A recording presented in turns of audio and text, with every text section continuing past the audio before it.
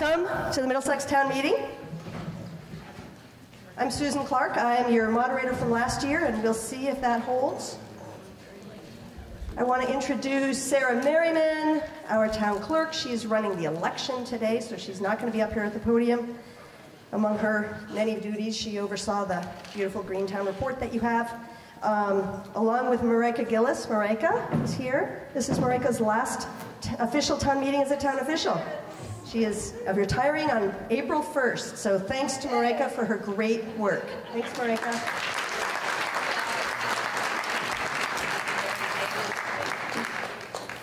Yes. Sorry? Well, he hasn't been elected yet. But Dave, he's been appointed. He's appointed. Okay, Dave, Dave Smith has been appointed. He's on your ballot. Dave Smith is maybe going to be our brand new, or is appointed as our brand new assistant town clerk. Yay, Dave. Your select board chair is Peter Hood, Mary Skinner, Liz Scharf, Steve Martin, Phil Hayek. So these are the folks who oversee the town functions and employees and have been working on your budget. And thank you very much to Sorsha Anderson for taking the minutes today so Sarah can run the election. Sorsha is the one who's going to thank you for when you speak saying your, your full name uh, so she can put it in the minutes. We have a few announcements. Um, Liz, I think you wanted to talk about the census, is that right? Yeah. Yeah. Do you want to grab the microphone? Or two? Wow. Hi, so I'm Liz Scharf, and I work for Capstone Community Action. Um, and we are members of the Governor's Complete Count Committee for the 2020 census. And um, so I've been representing um, the community action, statewide community action agencies um, in the 2020 um, census outreach. And so I am just uh, encouraging you to complete the census uh, beginning March 12th. You're going to be receiving in the mail um, your census questionnaire, which this year it's a little different. You can do it by phone um, over the internet, or you can also mail it back. Um, if you have college kids, the kids will complete their census at their school. Um, and uh, if you know anyone who's sort of a transient person in terms of, you know, living with Uncle John, um, they should make sure that they're completing the census. We'll have computers um, at various locations like libraries. Capstone and Barre will have a computer for folks who may not um, be able to do it at their home. Um, and we'll have uh, people to support people to help them um, navigate uh, filling out the census. So it's super important. It's once every 10 years. Um, it equates to just around $3,000, a little under $3,000 per person in the state of Vermont um, for the next 10 years. Um, so 3,000 each year for 10 years. So for all those people who don't get counted, that is a loss of federal funding for everything that you can imagine that comes out of the federal government roads, schools, healthcare, um, social services, um, Medicare, all kinds of things. So there's um, a lot of reasons to do the census. It's safe and it's easy, and I hope you will all complete the census. Thank you. Elliot Berg has a few comments about the bandstand. Hi, I'm Elliot Berg from the Middlesex Bandstand Committee, and I know it's pretty hard to imagine sitting out in the meadow right now by the bandstand, but I wanted to just flag for you that we have a full program of concerts, six concerts in a row that we have now booked. Uh, these are concerts that take place on Wednesday evenings, six in a row at 6.30. If you haven't been there, they're free. There's food, so you don't have to feed your family before. Uh, Myra Flynn is coming back. She was a big hit last year. Uh, Miriam Bernardo, great vocalist. Uh, Green Mountain Playboys, and a number of other groups. So we'd love to see you out there. Just uh, we'll get information out on Front Porch Forum, on our website, and on Facebook. So come on out. Thanks. Thank you. All right. Any other announcements before we start? We will have time under other business as well, so. Okay. Um, a couple other things I need to say. Um, once again, this year, the Town Meeting Solutions Committee did offer Middlesex uh, residents who uh, can't attend town meeting because they have mobility or health issues or are away for public service uh, to attend town meeting using phone and internet. And this year we didn't have any takers, but that service is available for future years. So thanks to Larry Scharf uh, for all his work on this. Um, I also want to thank Liz uh, and other helpers in the Rumney School kitchen for cooking our spaghetti dinner tonight and anybody who baked desserts for the dinner. This is a fundraiser for the Middlesex Fire Department, so great cause. We hope you can stay. Um, for those of you who have kids here in the room, they are more than welcome. Just make sure that they're quiet enough so everyone can hear. Um, childcare this year is free thanks to Rumney School for funding uh, that through Community Connections. So if you do have kids in childcare, do pick them up uh, after the meeting, but um, pick them up before you have dinner. Um, the kids are welcome to uh, here for dinner. Um, thanks again to Rumney School for hosting us, and um, we will uh, need help uh, after the meeting moving the chairs back, so um, after dinner, thanks for sticking around. I do want to remind you about the blue forms on your chairs. They do have information about Robert's rules and how to run the meeting. Um, after the meeting, um, please uh, return them here. Um, and if you have comments, feel free to write those on them. Otherwise, uh, also still return them because we'll use them again next year, so don't throw them out. Um, the most important thing on those forms is if you have a question, please raise your hand and ask. Um, it's an evaluation form, so make sure to uh, go ahead and use that. I have eight points about Robert's Rules. Brief reminder, Vermont moderators are asked to give you this overview.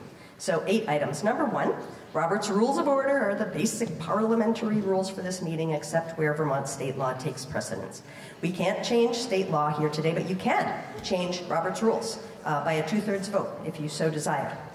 Number two, please state your name and address the moderator when it comes time for you to speak. So if you want to speak, just raise your hand. Uh, when you're recognized by the moderator, we've got these wonderful microphone runners who will bring you the microphone. Yay for our, for our young people. And even if you did just state your name two minutes before, please state your name again. We might even ask you to spell it. Don't take it personally. Um, it really helps with the minutes.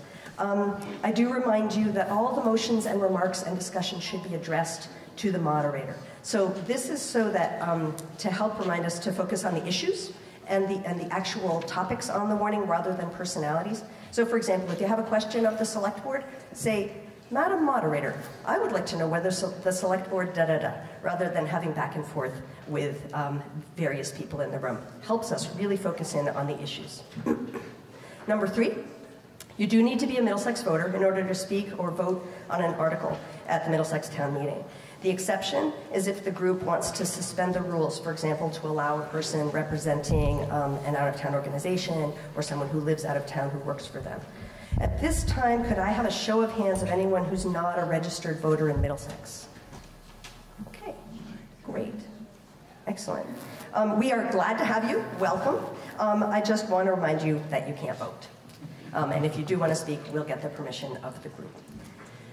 Number four, please feel free to ask questions. Raise your hand if you don't understand what's happening or if you think that there's a mistake has been made. You don't have to be a parliamentary expert. You just raise your hand and say, well, here's what I want to do. So how should I turn that into a motion? The moderator's job is to make sure everyone gets to make their point and propose the action that they want to take. Number five, this is your meeting. The role of the moderator is to help you accomplish the business that you intend to do. So if you feel that the moderator has made an improper ruling, please just raise your hand. Robert's Rules allows for the group to appeal the moderator's decision. It's a super simple process and it just ensures that the moderator serves the interests of the group. Number six, we can only address warned articles. It's against state law to consider articles that haven't been warned on the agenda. So this means we can't take binding action under other business. Number seven, Second to last, you can end debate by calling the question. So if a voter feels that deliberation has gone on long enough, a voter can move to cut off debate. You just raise your hand, you're recognized, and you say, I call the question. And then there's a second, and if two-thirds of the group votes yes on calling the question in order to cease debate, then um, it ceases. Otherwise, discussion continues.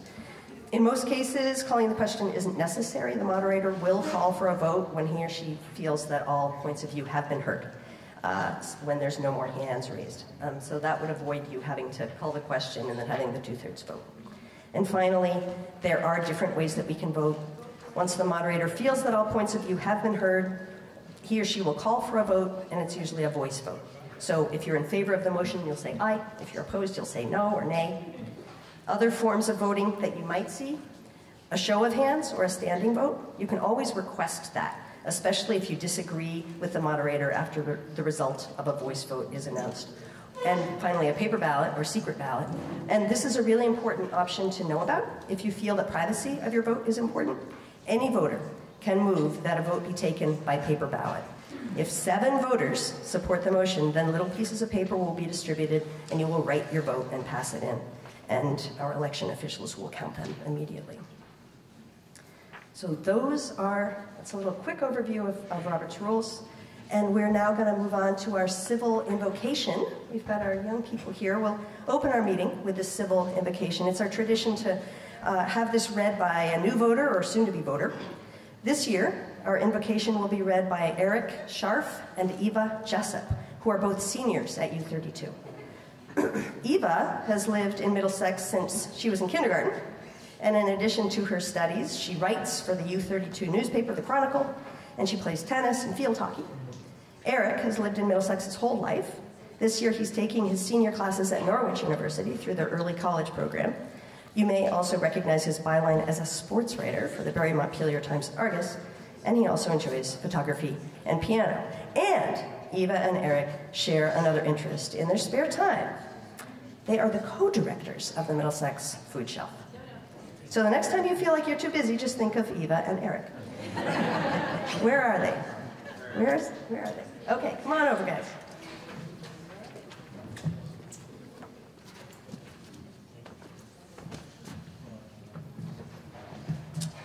So welcome to the Middlesex Town Meeting. We have come together in civil assembly as a community in a tradition that is older than our state itself. We come together to make decisions about our community. As we deliberate, let us advocate for our positions, but not at the expense of others. Let us remember that there is an immense gap between saying, I am right, and saying, I believe I am right.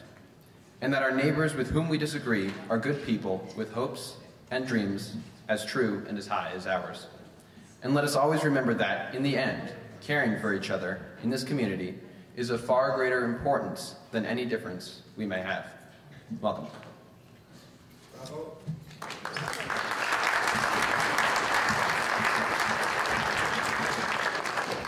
Um, and while we're up here, as we're directors of the food shelf, we just wanted to send out a quick little reminder. We are looking for a few more volunteers, so if anybody has any Saturdays that they'd be willing to give up, um, we'd love to add you to our mailing list. This isn't like a big commitment. It's just Saturdays that you can sign up for. Times are from 9 to 10.30. So we will have a sheet at the back. If anyone's willing to sign up, that would be great. Just come find us at the end. Thank you.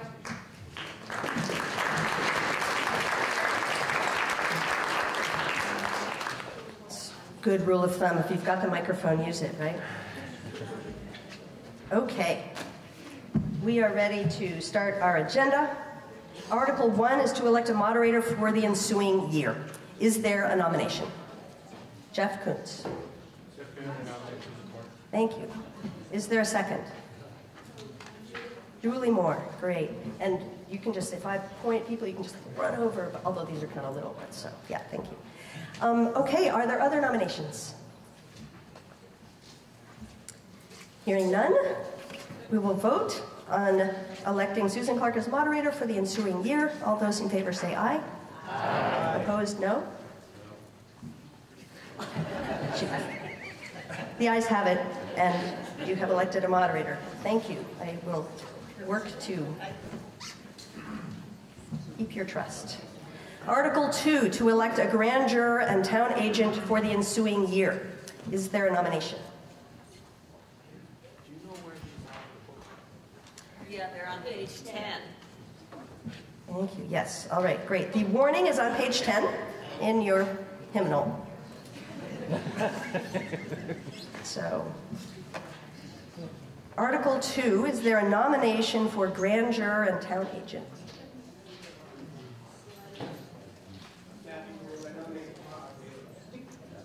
Great. Yeah, your name again?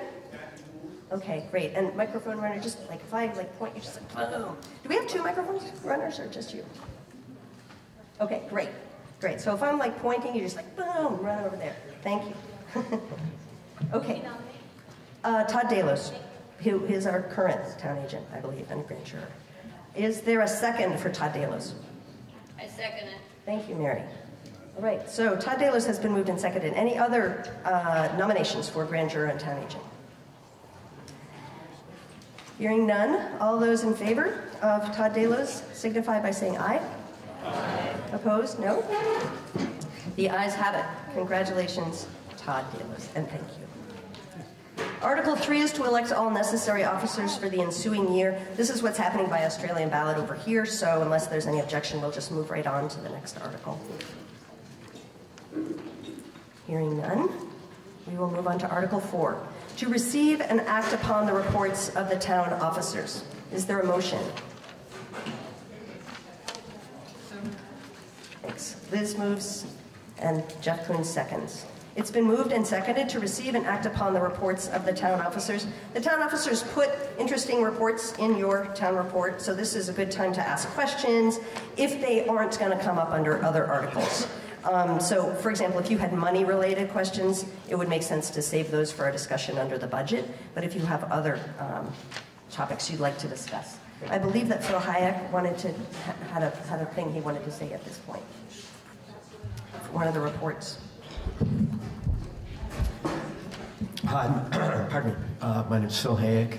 Uh, besides being selectman, I'm your representative on the uh, Central Vermont Internet, Central Vermont Fiber uh, Board. And I just wanted to give you a quick update. Uh, Jeremy Hansen, who's chair of that board, uh, did put a, a, report in here, but it, it, was written so long ago. There's a number of things that have happened since then. So um, we've added Moretown to the Communications Union District, which makes for a total of 18 uh, towns who've now committed to it. And we've decided to close uh, membership at this point. That's a rather large district uh, to try and get internet to, and all with some real challenges because of uh, the rural nature of all of our communities. Uh, we have received uh, just shy of $100,000 in various grants, a few donations, some in-kind work. And all of that is really important because it allows us to qualify for other grants so that you might, might take the award from one grant and use that as an in-kind match for another one. So it was a bit of a struggle at first, but uh, we're at a pretty good level now. The most important grant was um, a, a, state grant that was enacted uh, last year in the legislature. It was a 60, it is a $60,000 grant, but it's split into two chunks, 30 and 30. The first phase is to do a feasibility study. And if the feasibility study actually proves that uh, it is possible to do what we want to do, or feasible to do what we want to do, then we submit that, and the second half gets awarded uh, to allow the district to do an official business plan. And that's really, really important, those two pieces, as far as the lending community is concerned. So we have um, we have received that first phase of that along with some USDA and other funds, and we've hired uh, a company named Interisle out of Massachusetts, which is an international consulting company on telecommunications issues, and they are in fact at work uh, doing the feasibility study uh, as we speak. Uh, we're confident that that feasibility study is going to prove to be good, and then we will move on to the to the business plan with the second thirty thousand dollar. And Interisle will do that piece uh, for us. And once we get past that phase, this gets us in position to apply for loans.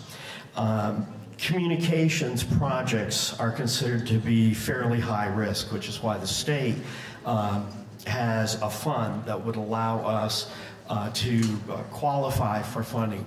We're going to be looking, assuming we get through the feasibility study and the, the business plan, we're going to be looking for a $4 million loan um, as an initial piece that would allow us to build approximately 150 miles of fiber.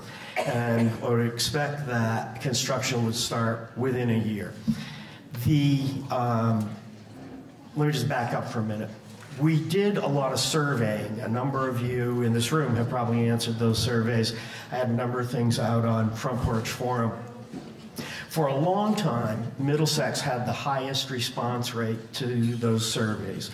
We dropped to second because Plainfield made a concerted push toward the end and, and beat us out.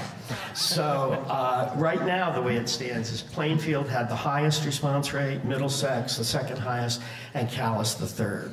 And this is important because in the feasibility study, it shows interest and there's a lot of information about who would subscribe, what they would be willing to pay, how much speed they want, what kind of uh, effects this might have on businesses and in the community.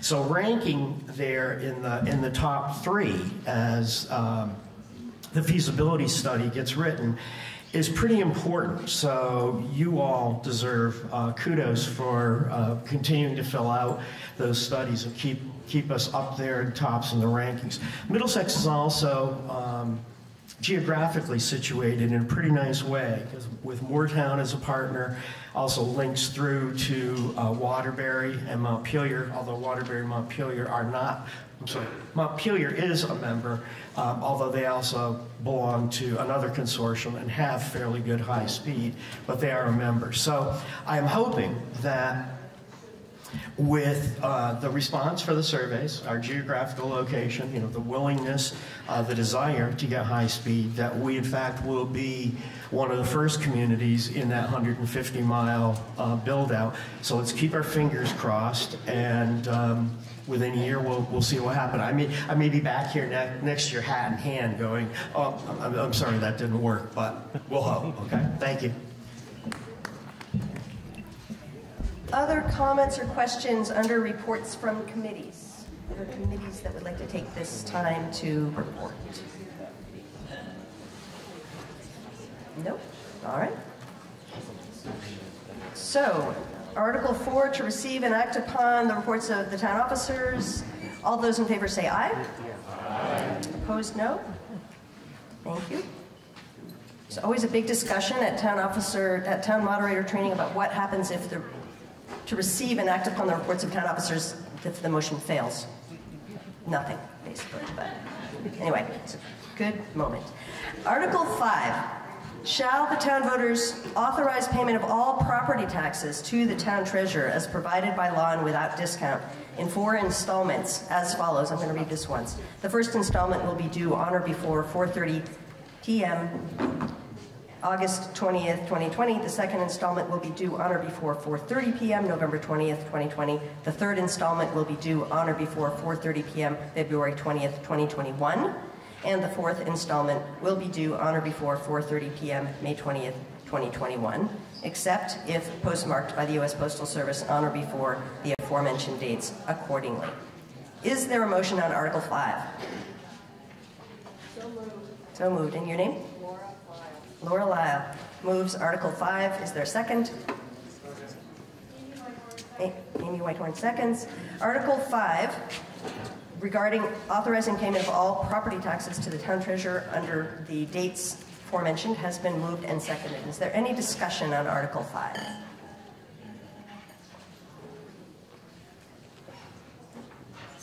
No, there isn't. Okay. So, uh, we will be voting on Article 5. Shall the town authorize payment of all property taxes to the town treasurer as provided in this article? All those in favor of Article 5 say aye. Aye. Opposed, no. The ayes have it, and Article 5 passes. Article 6, to see if the town will charge interest at the rate of 0.5% per month or fraction thereof on overdue tax installments from the applicable due dates. Is there a motion on Article 6? Okay, Amy? And a second? Jess Clark. Article 6 has been moved and second to see if the town will charge interest at the rate of 0.5% per month. Any discussion on Article 6? No. Okay. In that case, all those in favor of Article 6 signify by saying aye. Aye. Opposed, no. The ayes have it. And we are on the budget. Um, no, we no, we'll wait. We'll wait on the budget. Um, that we'll do that at 5:15 because that is warned for time certain. Um, we will move. We'll uh, move on to Article 8 and come back to Article 7 at 5:15. Article 8. Shall the town voters appropriate the sum of $5,000 to the Middlesex Conservation Fund? Is there a motion on Article 8? Julie Moore moves. Is there a second? Did you get that, Saoirse? Yes. Yes, okay. Article 8 has been moved and seconded to appropriate $5,000 to the Middlesex Conservation Fund. Any discussion from the Conservation Commission?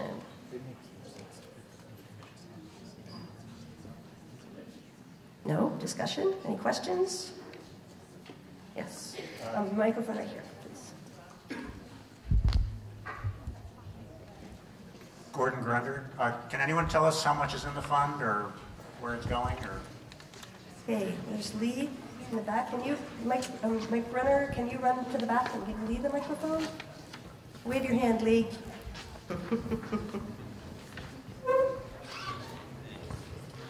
Um, Lee Rosberg, I'm the chair of the Conservation Commission. We currently have about 9,000 in the Conservation Fund. Um, our last use of it was $10,000 that went to conserving land, um, the Hunger Mountain Headwaters property, which encompassed the first mile or so of the hiking trail up Hunger Mountain.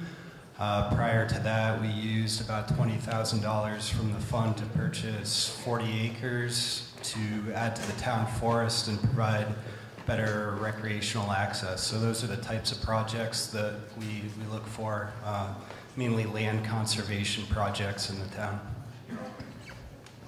Great, thanks, Lee. Any other questions, comments? Hearing none, we will vote on Article 8. Shall the town voters appropriate the sum of $5,000 to the Middlesex Conservation Fund? All those in favor say aye. Aye. Opposed, no. The ayes have it. We have passed Article 8. Article 9. Shall the town voters authorize expenditures of up to $8,000 to purchase two radar speed feedback signs to be installed on the north and south lanes of Vermont Route 12 in Putnamville? Is there a motion on Article 9?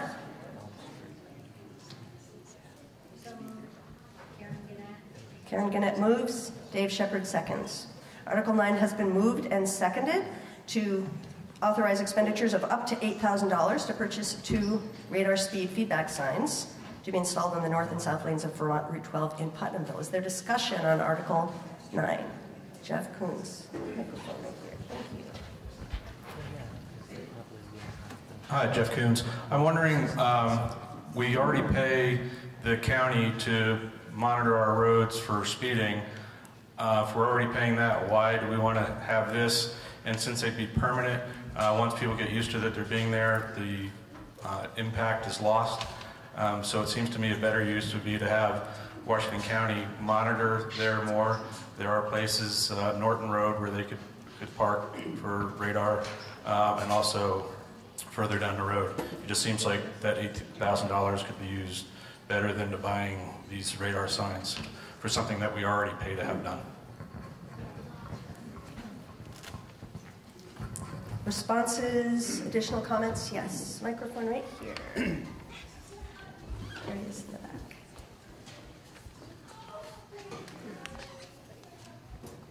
Hi, Bob Lucas. Uh, so I guess to, to go ahead and piggyback on that, obviously we're, we're seeing an expense that uh, the Sheriff's Department only utilized half of their budget uh, for last year. Uh, knowing that area, know, obviously having worked in, in this area for some time, I understand that there is a speeding issue there, but it's, I would dare say it's probably no different than um, many other sections of that road, to include as well as Center Road.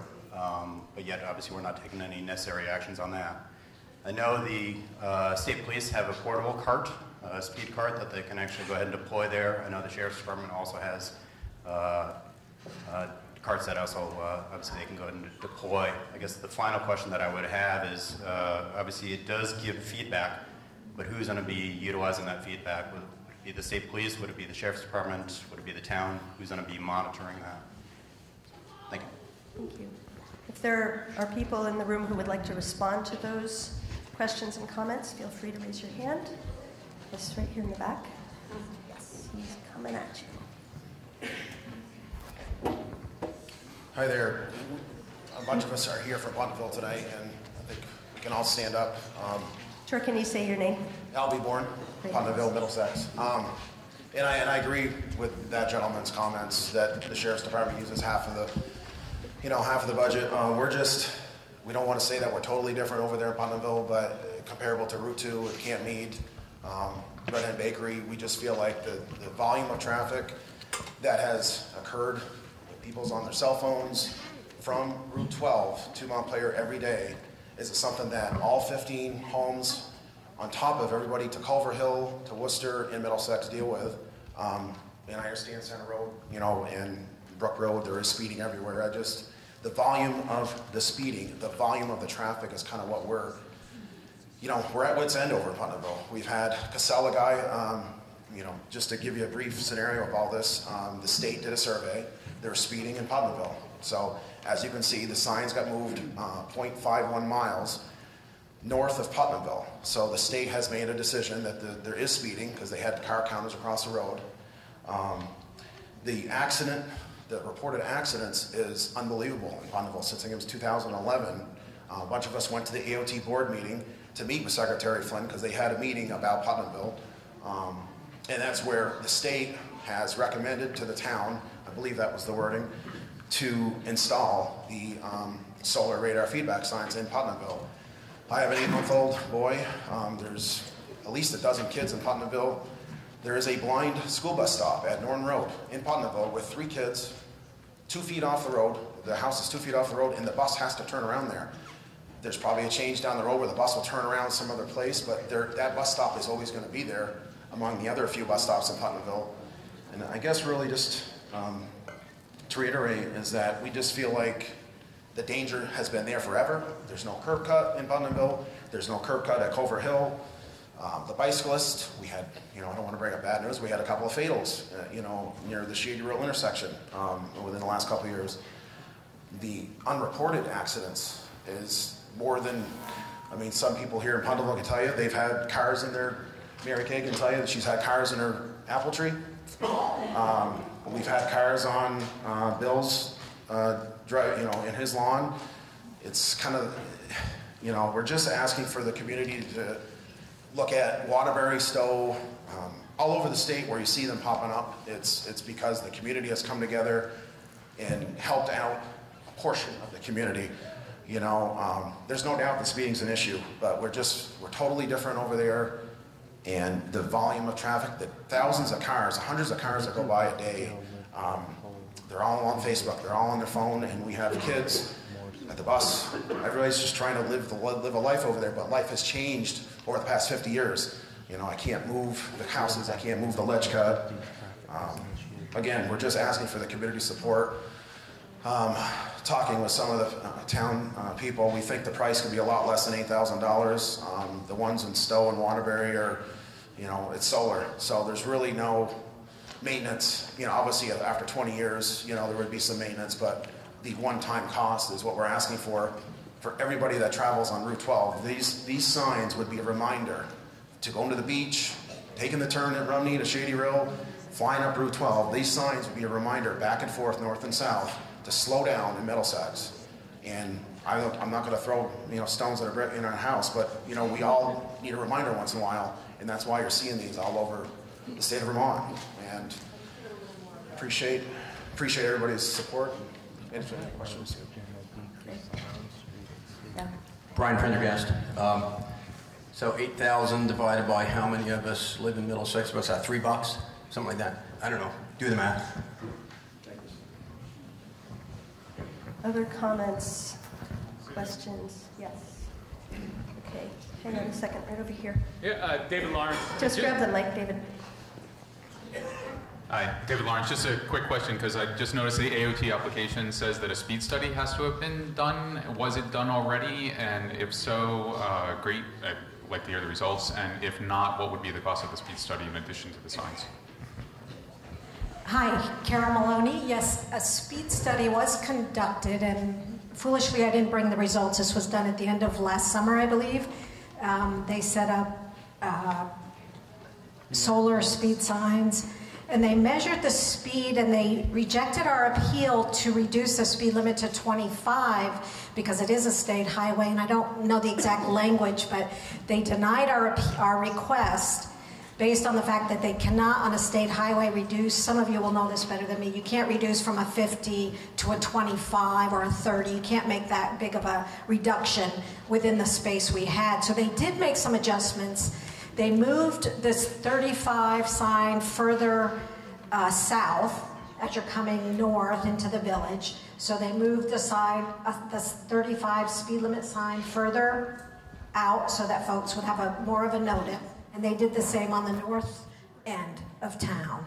And they put some little red flags up, and I think those are helping. We noticed anecdotally a huge difference in the speed of people passing through town when the solar flashing sign of 35 went up for a couple of months last year. I, we have to get our mail right on Route 12. The difference in Putnamville from many other roads in town is the sight line. There is virtually no sight line. And you know how long it takes, this is pretty clear, how long it takes to stop a car going 35 miles an hour. The average speed, I think, and folks correct me if I'm wrong, that the state found 43 miles an hour for cars passing through Putnamville. We pulled out to come to town meeting. A car came, so we live right behind the bait shop, behind Jim and Sherry Page. We have we turned left to go south. Car was coming north, they have no visibility of us pulling out. And if you're going 35, it's a tight turn. I am nervous every time I pull out, and I don't have children. Some of my neighbors have a worse situation in terms of visibility. We totally understand other people's need, and we would, we're very amenable to a mobile unit that can be moved to other parts of town and, and rotated around with either the select board or the road commissioners um, at their direction and, and rotating around on some kind of schedule around town because we've seen on Front Porch Forum people expressing concerns in other parts of town. So we don't want to be the only ones that benefit from this. I think our needs are unique. I, uh, I would invite any of you to come and try to pull out of our driveways anytime um, and urge your support for up to 8,000. It may not take that much but to authorize the select board to investigate and, and solve, help us with this problem. Other comments and questions? Yeah, I saw a hand over here.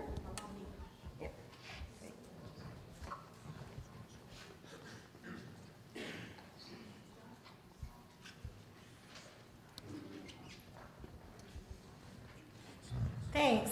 Hi, Amy Whitehorn. So Albie was kind enough to um, take a guesstimate at how much the cost would be per residence. Um, Dorinda has done an amazing job of creating a table that is on page 36 of the town report that actually will show you, based on three different levels of property value, um, how much each of these special articles will actually cost. Again, based on a house value of 150, 150,000, 200 thousand and three hundred thousand dollars. Um, and at the lowest level, Albie, just to comment again, know, the it's it would be five dollars and thirty-one cents for a property of one hundred and fifty thousand dollars.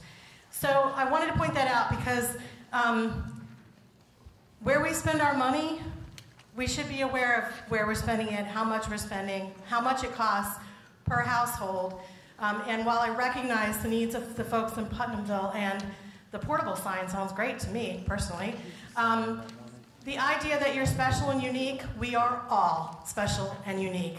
Um, my wife is a school bus driver, and I have to wave at the school bus to get it to slow down on our road. She doesn't drive it. but um, traffic goes way too fast through our town, period. And that's true everywhere, and it's dangerous everywhere. Um, so, again, I would consider if we want to think about spending money on something like this, let's do it in a way that isn't fixed in its location. And the cost of the study, I was curious, do we know how much the speed study actually did cost and how it was paid for? There's a question, I don't know if the select board can answer this question. How much did this um, speed study cost? Got paid for? It was done by the state, it The- doesn't The cost state, anything. the state went ahead and did the whole study. Okay, great. There was a hand over here. Right in the back? Nope, nope, you're going too far. There you go. Hi, Kathy Shapiro. If you already addressed this, somebody else can give me the answer, but what, what is the evidence that these radar feedback signs actually reduce speed overall? I, I came in late, so. Would anybody like to address the question of evidence about whether the speed signs work? Is that what you'd like to address? Yes. Okay, so microphone right back there. And this will be the last comment, and then we can take a break.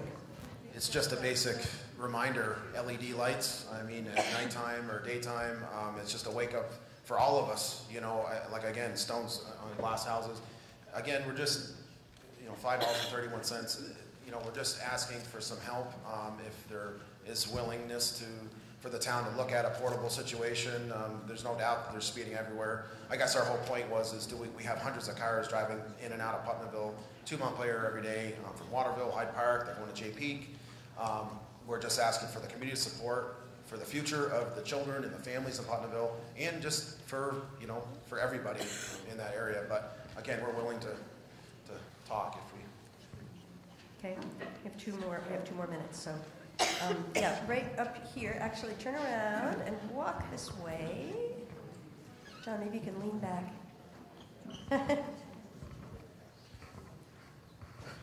Uh, John Pulio. Um, I don't have any hard evidence, but um, I know they work for me. Um, I, I love to have that reminder. Um, it's going to cost me nine bucks based on the chart on uh, page 36.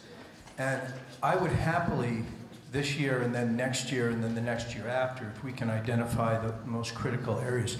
We all know Putnamville, it's a critical little zone in there. It's tough, sightlines are impossible. But if we can identify two or three other places where we're worried about our people being injured, and I can pay 10 bucks next, next year and then the year after, I am so happy to do that. We put out money to all these other social service and help organizations. I think we could put our money to keeping our people in, in Putnamville safe and then move on to the next um, uh, critical area in town.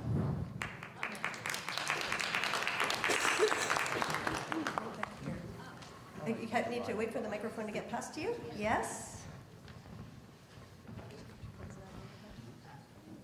I don't have my protocol, so coach me, Susan. Um, but if I'd like to propose an amendment that we change the wording, uh, so that, not so that the signs be installed on the north and south lanes of Vermont Route 12 in Putnamville, but that includes that installation, but that they would be rotated, um, so that we're voting on not a specific installation forever in one spot. Right, okay. So, and uh, re- remind us of your name. I'm Jane Dudley. Jane Dudley, okay. And Select Board, the question is, is this a necessary amendment, or would you feel empowered if this were to be passed to move the? Okay, okay, so you're suggesting an amendment um, to be, it, okay, I'm just looking at some good wording. Um, Including use on the north and south lanes of Vermont Route 12 instead of to be installed? Would that do it? Including but not limited to?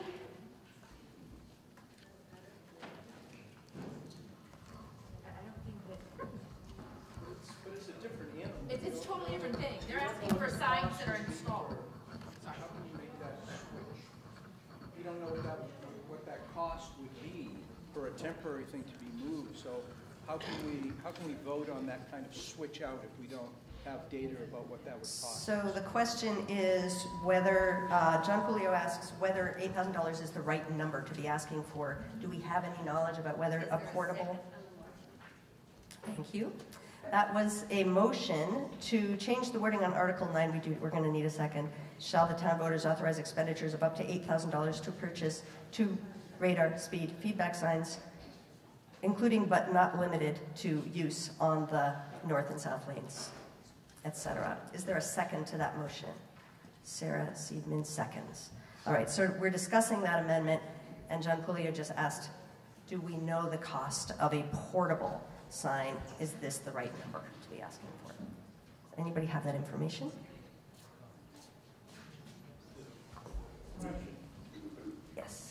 microphone over here. Who was indicated to speak? Green Um, shirt in the back. Uh, no, actually, black shirt with the stripe, sorry, and then, I can tell you that uh, the portable speed carts are more than, uh, two, two speed carts would be more than that amount. You could probably uh, get in the ballpark of probably one, but definitely not two. okay. And, right back here. I was going to reiterate the same name? thing. Ray Hickory. Thanks. Uh, What that gentleman just said, the portable ones are going to be more expensive than the permanent ones. Uh, If you try to go to the portable ones, I can tell you right now, it's going to be a lot more expensive. And for what, I know what they're doing, because I do some work in state highways, and let me tell you, it's, it's not easy. And I've worked in Putnamville. So, uh, putting these uh, signs up, I'm assuming it's going to be a permanent deal, that those signs would stay up there. I think trying to take them down and putting them someplace else is going to, I don't think it's going to work that well. Um, and I don't even live in that, down in that area. But what that gentleman says, um, I think it's a good idea to do this, but do it as, as inexpensive as we can. Okay, um, we are working on the amendment to um, include but not limited to. So this is a, a touchy little place that we are, and I'd like to get through this amendment before we move on to the budget. Is there any other discussion on this amendment? Yes.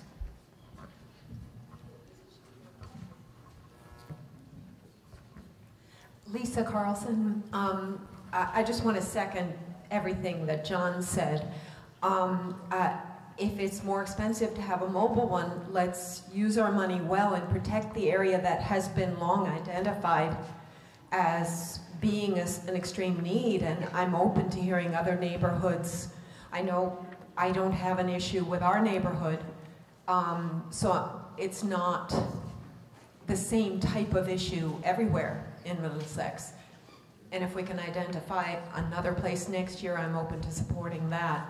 And I'd prefer to do it right the first time and have that, that one area that has been identified with the work that's been done taken care of. Okay, that was Lisa Carlson. Right Back here in the back.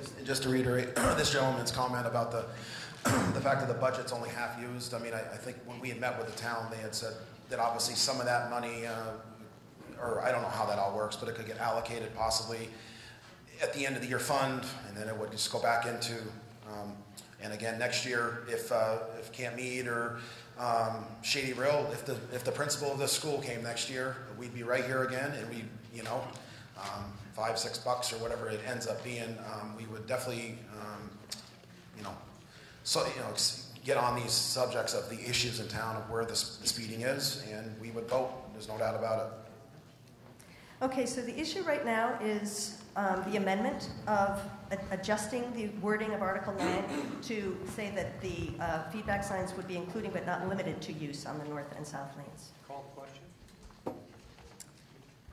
John Pulio would like to call the question. Is there, he's, he's uh, proposing to end debate. Is there a second? Okay. Say your name nice and loud. Dexter LaFever seconds. So we will now be voting on whether to end debate on the amendment. So if you would like to stop talking about this amendment, signify by saying aye. Aye. Opposed, no.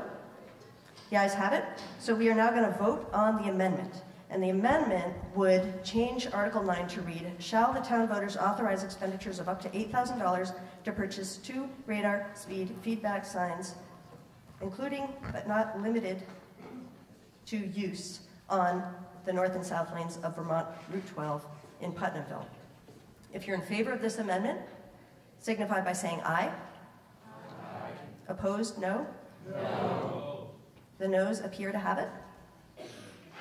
The noes do have it, and the amendment fails. So we're back to the article as written, and what I'd like to do now is um, pause and move to the budget, and then we'll come back to Article 9 as written. This allows us to um, stick with our warning, which says that Article 7, the budget, will be considered as a special order of business at 515. The reason we do that is so that people who only want to come and talk about the big money issue know when to come. And they're already sitting here going, why haven't you done this since seven minutes ago? So, Article 7, to vote a fiscal year 2020, 2021 budget of $1,323,867 to meet the expenses and liabilities of the town and authorize the select board to set a tax rate sufficient to provide the same. Is there a motion on Article 7? Jeff Koons moves. Is there a second? Nancy Riley. Nancy Riley seconds. So Article 7, to vote a fiscal year 2020-2021 budget of $1,323,867 has been moved and seconded. Is there discussion on Article 7? The budget is on page 39 of the town report, and the discussion begins on page 35. Hopefully, you've had a chance to look at that. Discussion about the budget. Also, page 23, the report from the budget committee. Lots of good information about the budget discussion. Yes.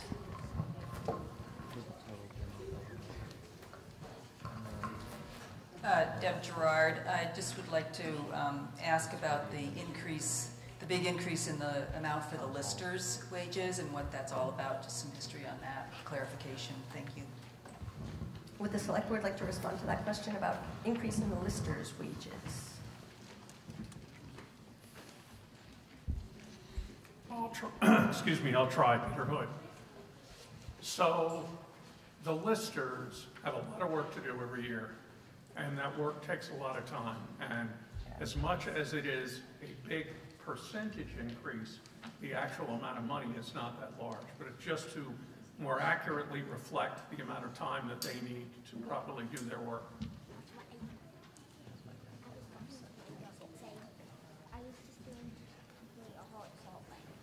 Other discussion, questions about the budget? Yes. Scoot right back there. Vic, stand up so she knows where to bring it. Yeah, Vic Dwyer.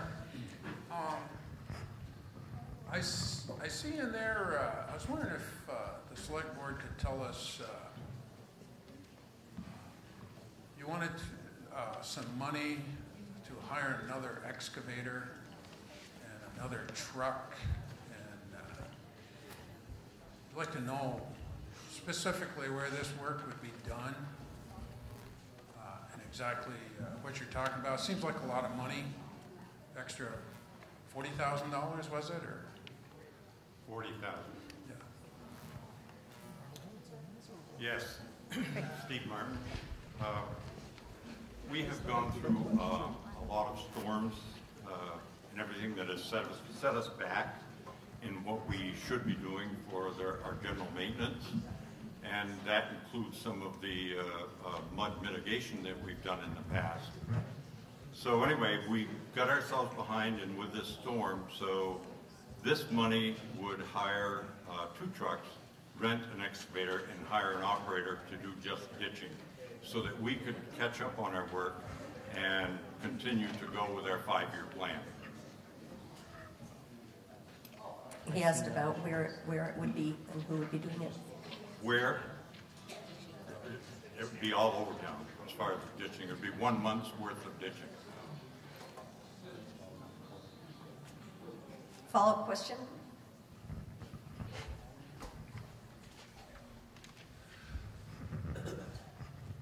I guess, uh, I guess if I was going to vote for that amount of money, I guess I'd want to know a little more specific where you're going to be. I mean, is this going to be on uh, uh, our main arteries, or are we going to go uh, on our secondary roads? Uh, I'd like to know uh, who, who are we hiring, and who is going to be in uh, oversight of what they're doing. Uh, Well, as far as who we're hiring, we'd have to rent a couple of trucks. Uh, Can everybody hear Steve? Does he need to move it closer, Yes. Oh. Oh, a little closer. Is that on better? Uh, We'd have to uh, rent a couple of trucks uh, for that time period. We'd actually rent an excavator, and I believe we can hire an operator, eh, you know, for that one-month period. And as far as specifically where, um, like I said, we would do our, our, probably try to get our main arteries in town that haven't been ditched. Those would be some of the first ones, but we would try to get as much of the roads done as we possibly could to catch up. Other comments and questions about the budget?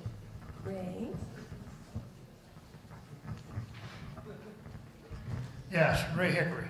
Um, the thing I, I am thinking about is it's a lot of money, but I also think that our town road crew is taking on a lot more work than what they really should be doing because these projects that they're doing, they're, it's taking them so much time to do it that the rest of the town is suffering from the road maintenance.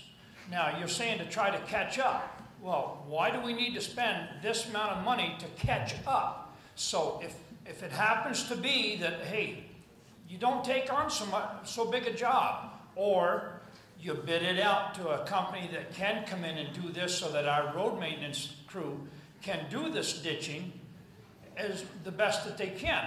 Um, because the time that they're spending doing these mud mitigation things, they're not getting the roads done. And we're spending money that uh, we just don't have. And there's people in town that are on fixed incomes. They can't afford all this stuff, extra stuff. Some of the work that's being done, like grading the roads, um, we're on a four-day work week, from what I understand. So the guys are only doing four days a week. Well, during the course of the summer, the last two years, if you stop and looked at it, there was the Fridays, they're not even working. You might, if it rains on Tuesday or Wednesday, the grader doesn't go out to take care of our roads. So, Friday is a good day. Well, that grader should be out there working. It isn't. Why, uh, why don't we go back to a five-day work week for the crew instead of this four-day work week? So that those days that are good, we can utilize our money a little bit better than what we are.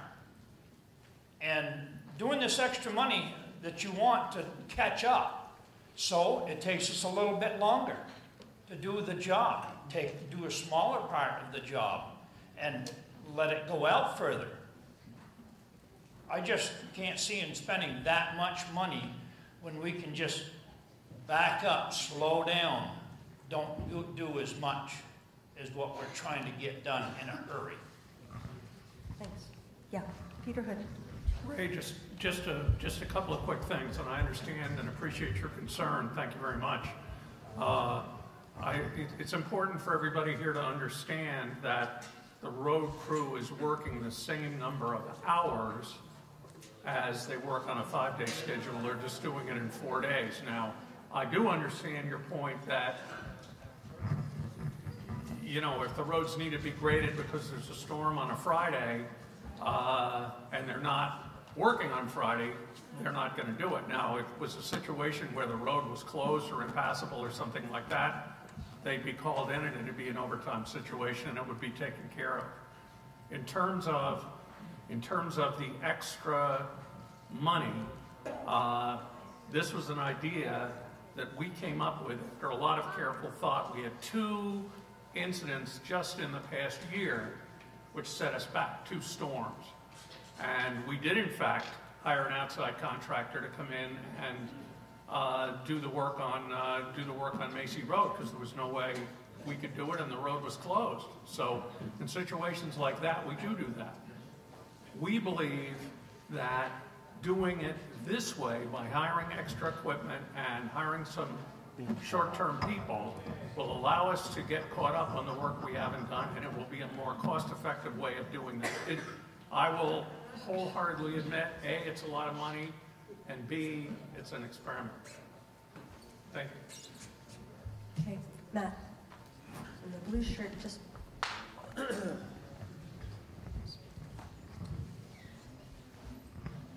Hi, uh, my name is Matt Dwyer, and uh, I was on the select board for three years. And at that time, uh, we ended up purchasing the first excavator in this town. And the concept behind having that excavator was that we were going to take on some mud mitigation and slowly work at it when we could, but making sure that we prioritized how we did that and continued to ditch the roads and cut the brush and do our maintenance along the way. I don't really feel that the management has been um, done very well in that order, and I've actually watched what's gone on the past three or four years.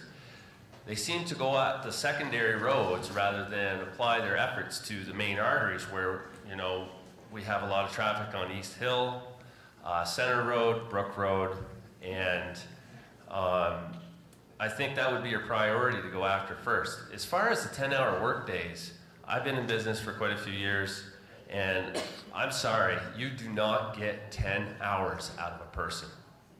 You're lucky to get seven real hours. So, in the line of work that we're in, trying to grade the roads, you need to utilize the weather to your benefit.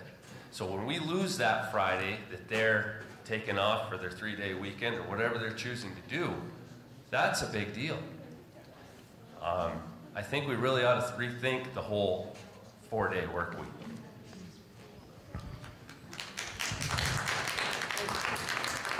So the question is about the budget. Are there new folks who would like to speak?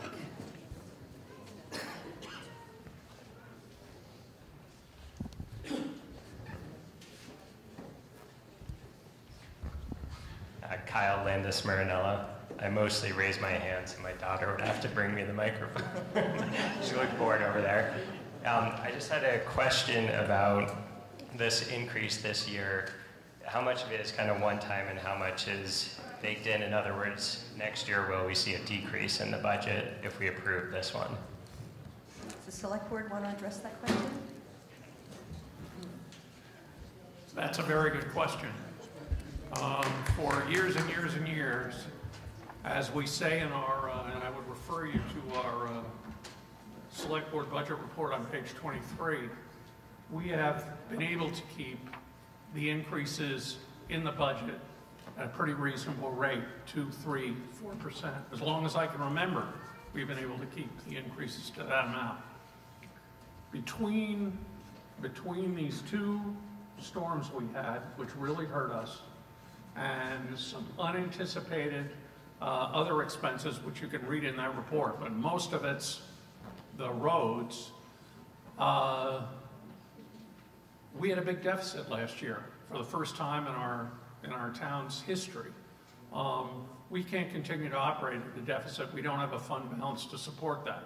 So, you know, we have to we have to we have to deal with what the good Lord gives us in terms of the we weather. If we could all predict the weather, we'd be better at telling you. I would like to hope that, you know, this isn't going to continue, but boy, when you listen to uh, the prognosticators, they tell us we're going to have more storms, they're going to be more severe, et cetera, et cetera. So I don't dare promise that the budget is going to go down. We're trying to react to the conditions as they exist. Other comments, questions, Sarah? She's right behind. Hi, my name's Sarah Merriman. I'm your town clerk, at least until 7 p.m. We'll see what happens. Um, I feel really weird addressing town meeting, and I know what people mean when they say it's horrible because you're going to see each other again, and you're going to take very unpopular positions. And I'm about to take a pretty unpopular position. But please just hear me out. So I'm going to start off with my Price Chopper story. I was in Price Chopper the other day, and there was a woman in front of me and a woman behind me. And the woman behind me said to the woman in front of me, Hey, Cheryl, are you going on vacation this summer? And she said, No, we got to put on a new roof. And the woman behind me said, I've done those roofcations too. People, we need a roofcation in this town. I am sorry to tell you that. If I think of you as our family members and this is our house, we are in bad shape. I'll start off with the road crew. The roads, good example. Sorry, see I'm getting nervous here. I've done a lot of public speaking. Let me get, you're seeing other people, but. So the highway department right now cannot be insulated because if the highway department is insulated, I'm talking about the shed, which is 40 years old, which should have been destroyed 20 years old, 20 years ago because it's a temporary structure. if it is insulated, the snow will cave in on the roof. We have to replace that. Wow. We have a town hall with a, vault that cannot accommodate this. Do you know what the radon level is in the vault on weekends? The normal level, the acceptable level, is no more than four. The radon level is 44 in that vault. I work in that, and we have two town clerks who have battled cancer in my lifetime. I'm probably sitting duck myself. We have a fire department right now that needs air packs that are going to cost $50,000 and they need, they need them. They're past their prime. We have a lift that is 20 years past its prime, at least 10 if you stretch it. I've been trapped in it. Pat Freeman's been trapped in it. A grandmother and a baby has been. Have you been trapped in? Greg Whitchurch has been trapped in it. We Sarah, have. can you step to the front? I think it's there's Oh, sorry. feedback. We have a, um, we have duct tape over the windows in town hall. We, our heating costs are crazy in town hall. We cannot meet here, we cannot meet in town hall because it's not only just crowded, but if you flush the toilet more than eight times a day, it will overflow. Just ask the people who threw a wedding shower, a bridal shower two weekends ago. We've got big, big costs coming down the pike. And partly it's been because the select board has tried to keep these increases down. And partly it's because, you know, we, no one wants to deliver bad news. Everybody wants to come to the voters and say we have a 2.5% increase. We have a slew of deferred maintenance. And I am sorry, but this is something we're going to have to consider with the $73,000 of special articles that are coming on top of this 11% budget increase. I know these are all unpopular positions. I don't want to take it. I love the library. I'm an author. I've written 17 books. I actually get paid by the library. And my final point is this. State payments, which are breaks on your property taxes, only apply to people's homestead education bill. Everything you vote here today is applied across the board to everyone. There is no state payment on town taxes. A lot of people can't be here because they're working, and you're sticking them with a bill. So we've all got to pony up, understand we got big bills coming up, and we got to do some budget tightening, and I'm sorry about it. I say support this budget because the roads are a mess. But then, when you get to the special articles, think long and hard about our pet projects, which we all love. Those are the hardest ones to cut. Thanks. Microphone back here.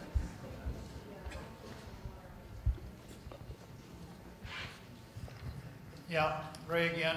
Hey, I'm going to reiterate what I was saying before in one sense of the way.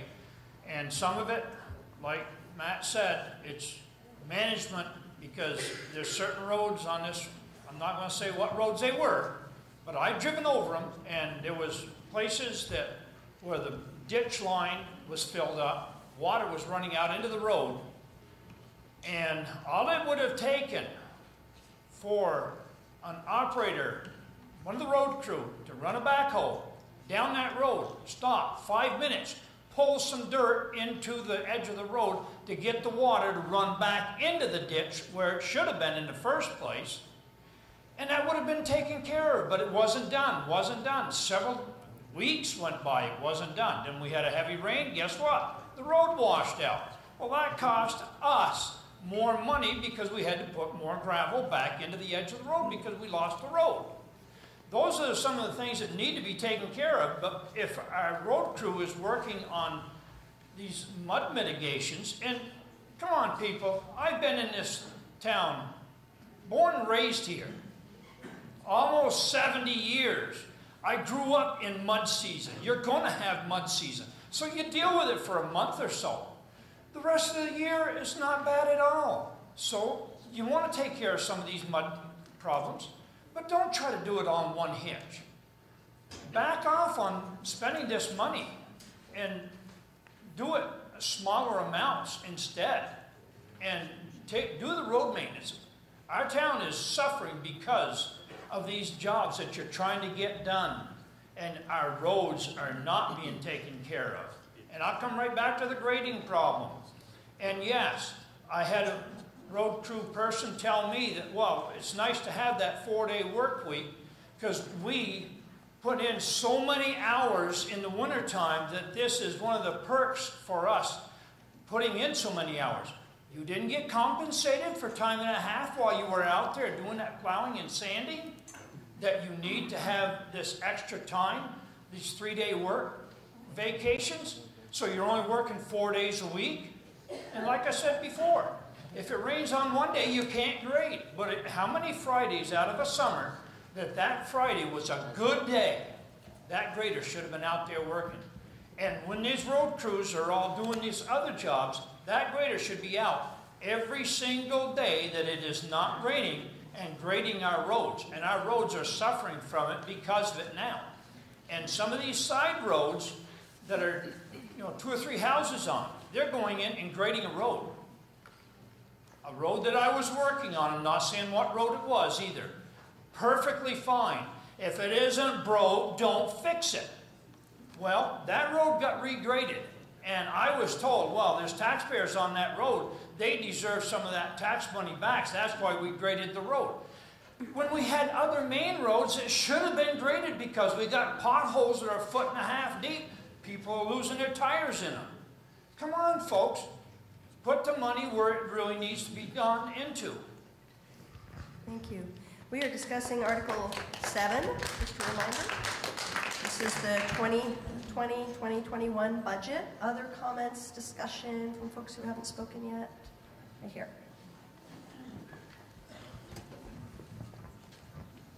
Uh, my name's Gordon Grunder.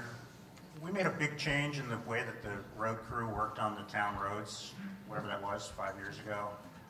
When I go up East Hill Road in mud hills, mud season now, I don't have to tow other people out. I don't have to worry I'm going to lose my Subaru and never see it again in a mud hole. Portal Road, you know, they did a lot of work there. It was really expensive, and they did a great job. I understand there's other parts of town, and there's more maintenance that needs to be done. The ditching work needs to be done, but I really want to hand it to the road crew. I, I really like the big projects they've done, and you know, we've had big storms, and taking cheap shots at the 10 hours a day they work for four days a week, that just doesn't seem right. That's my comment. Thank you. Other comments, discussion on the budget? Over here.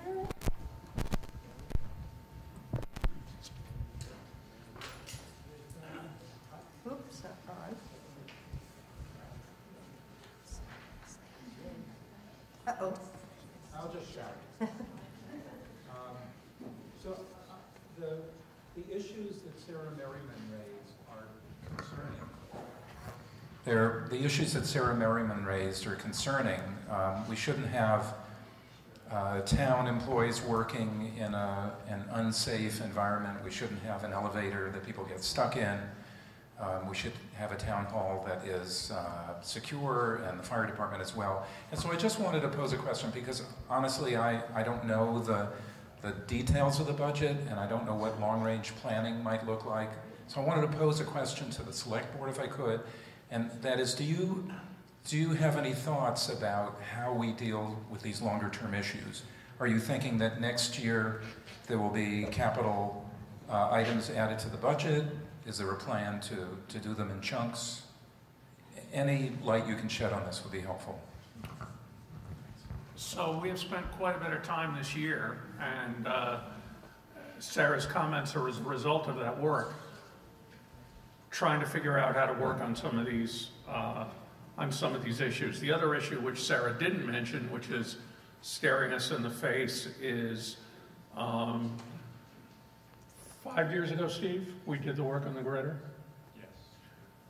Five years ago, we made the decision not to purchase a new grader, to essentially rebuild the grader we have and make it last another five years. That worked. We saved some real money. But now we have a grader that really needs to be replaced. That's in the neighborhood of a quarter of a million dollars. That's like 25% of our budget, and we're not going to pay for it in one year. We pay for it over 10 years or, or maybe more. Um, but it's true. We've got a lot of big things staring us in the face, and we're trying to figure out how to A, prioritize them, and B, do them in the most cost effective way. Should we build a new little uh, town clerk's office, maybe in the, in the center here, maybe where the old uh, town garage is? Who knows? Uh, but build a small building with a proper vault, a small vault. We don't need a meeting room anymore because we're having our meetings at the school and sell the old town hall. Maybe we should do that. We had an engineering study done on the, uh, on the town garage thinking that it would make sense. The heating cost at the town garage is horrendous. It's a temporary building, it's poorly insulated, et cetera, et cetera. Well, the engineering report came back and said exactly what Sarah said. The structure of that garage won't support snow, so you have to have limited insulation so the heat melts the snow, otherwise the building collapses. Well, that's a fine how do you do. How do we how do we deal with that? Well, probably what we need is a new town garage. Who knows what who knows what that might cost? Believe me, we're, trying to parse things out and work on them, but we've got some major challenges ahead in all these uh, in all these areas, and we just deferred because of the items that we're we're talking about tonight. Um, we made the decision to do some additional repairs on the grader and make that grader last uh, one more year so that we wouldn't be asking you for a potentially 20% increase because we were going to have a loan payment on a, on a grader. So we're doing the best we can, folks. We welcome, believe me, we welcome your input. Any thoughts or ideas any of you have on any of these subjects, we'd love to have you come to a come to a town meeting, a town meeting, excuse me, a select board meeting, and, and talk to us because we're struggling because we can see a lot of challenges on the horizon. Other comments? August, right in the corner.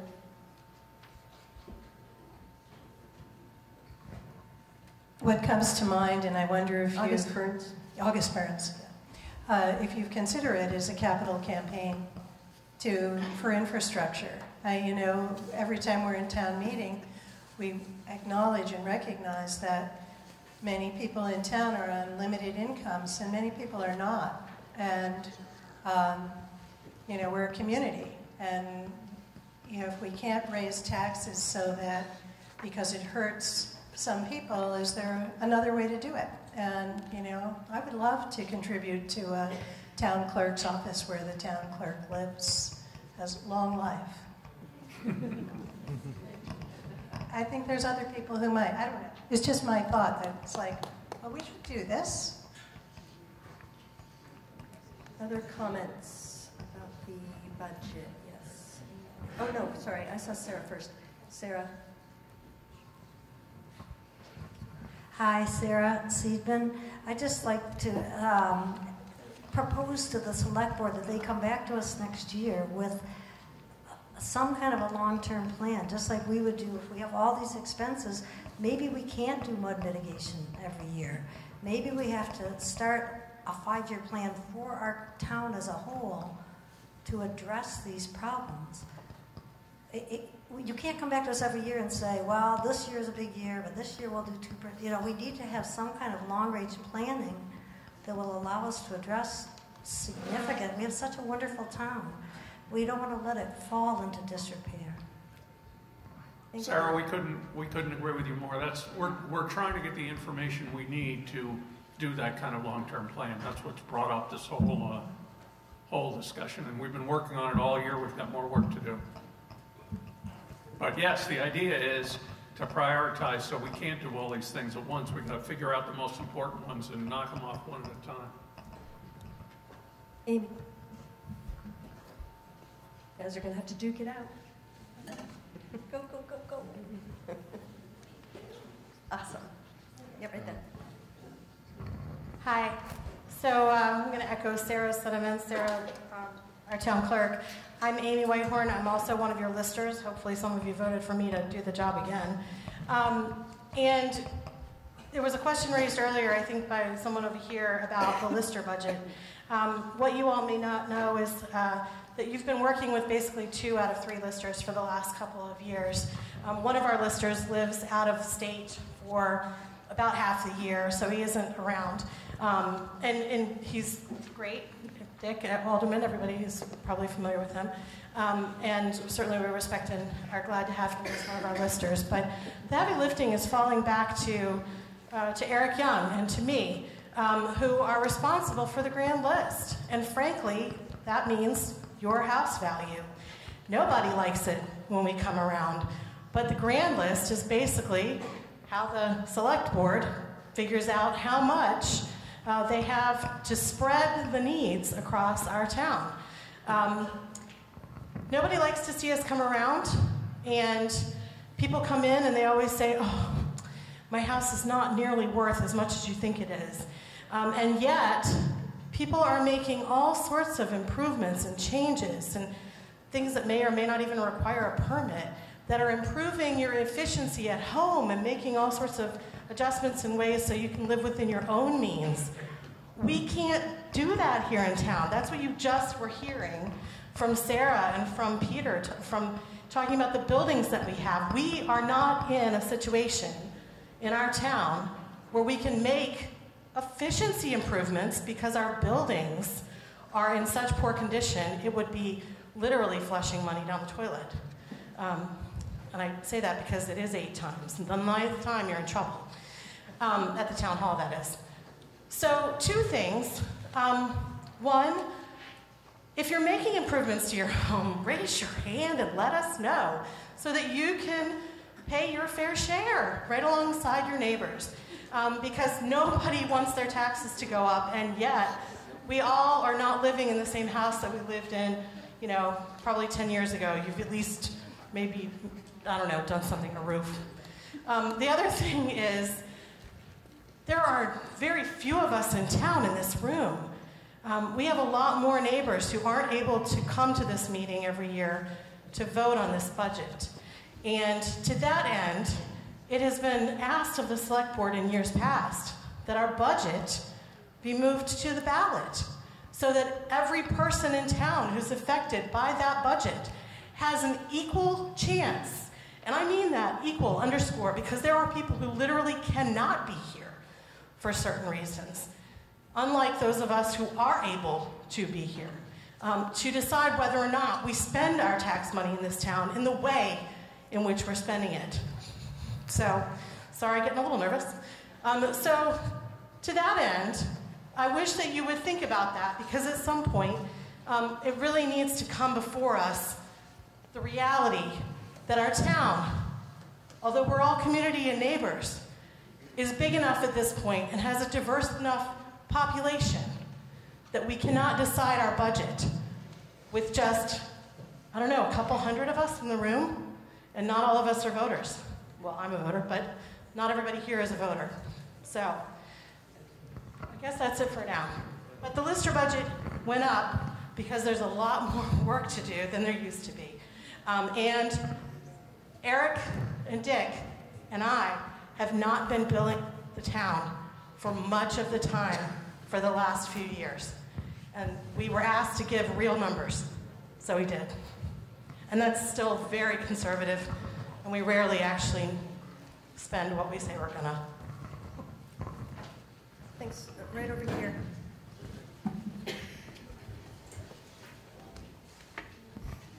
Hi, Heidi Lucas here. Um, I agree with everything you just said, and I think it's time for a reality check from everybody in this room that there's a lot of stuff going on in Middlesex that needs help. And while everyone wants to help everybody outside of our community, it's about time we say no to everybody else and say yes to Middlesex because there soon isn't going to be a town for everybody to live in. So the special articles shouldn't be in there. We should be focusing on our own budget. And yes, I'm going to use the word, it's time to get selfish.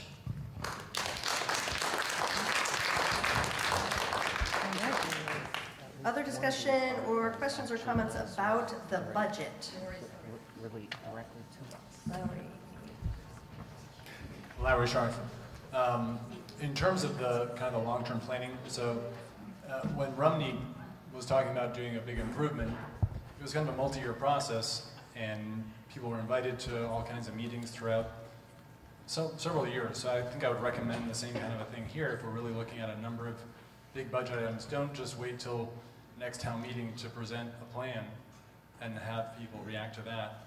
Do something throughout the next year so that people can actually participate.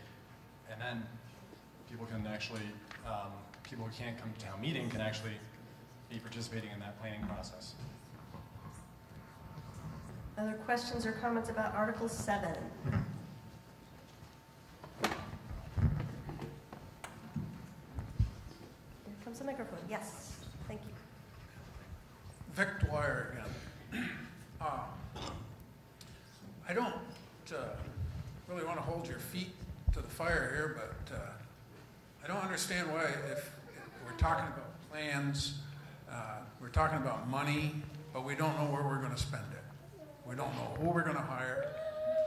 And the reason I say that is because we have a town, we have a, a plan for uh, doing roads, but we don't stick to that. Uh, some of our problems that you ran into is because we did Notch Road instead of staying with our plan. Can you explain to me why we did Notch Road as, and, instead of sticking with our plan? Was there any particular big deal over there? No, I can't answer that question like that. I mean, I can tell you what the rumors are in town, but I don't want to do that. And now, and now somebody said that you, you shouldn't be saying anything about working 10 hours. Uh, last year we were working Sundays and we were taking Fridays off. It doesn't seem, you know, I, am not trying to beat you guys up. I really am not. But I think we got to think more on what we're doing.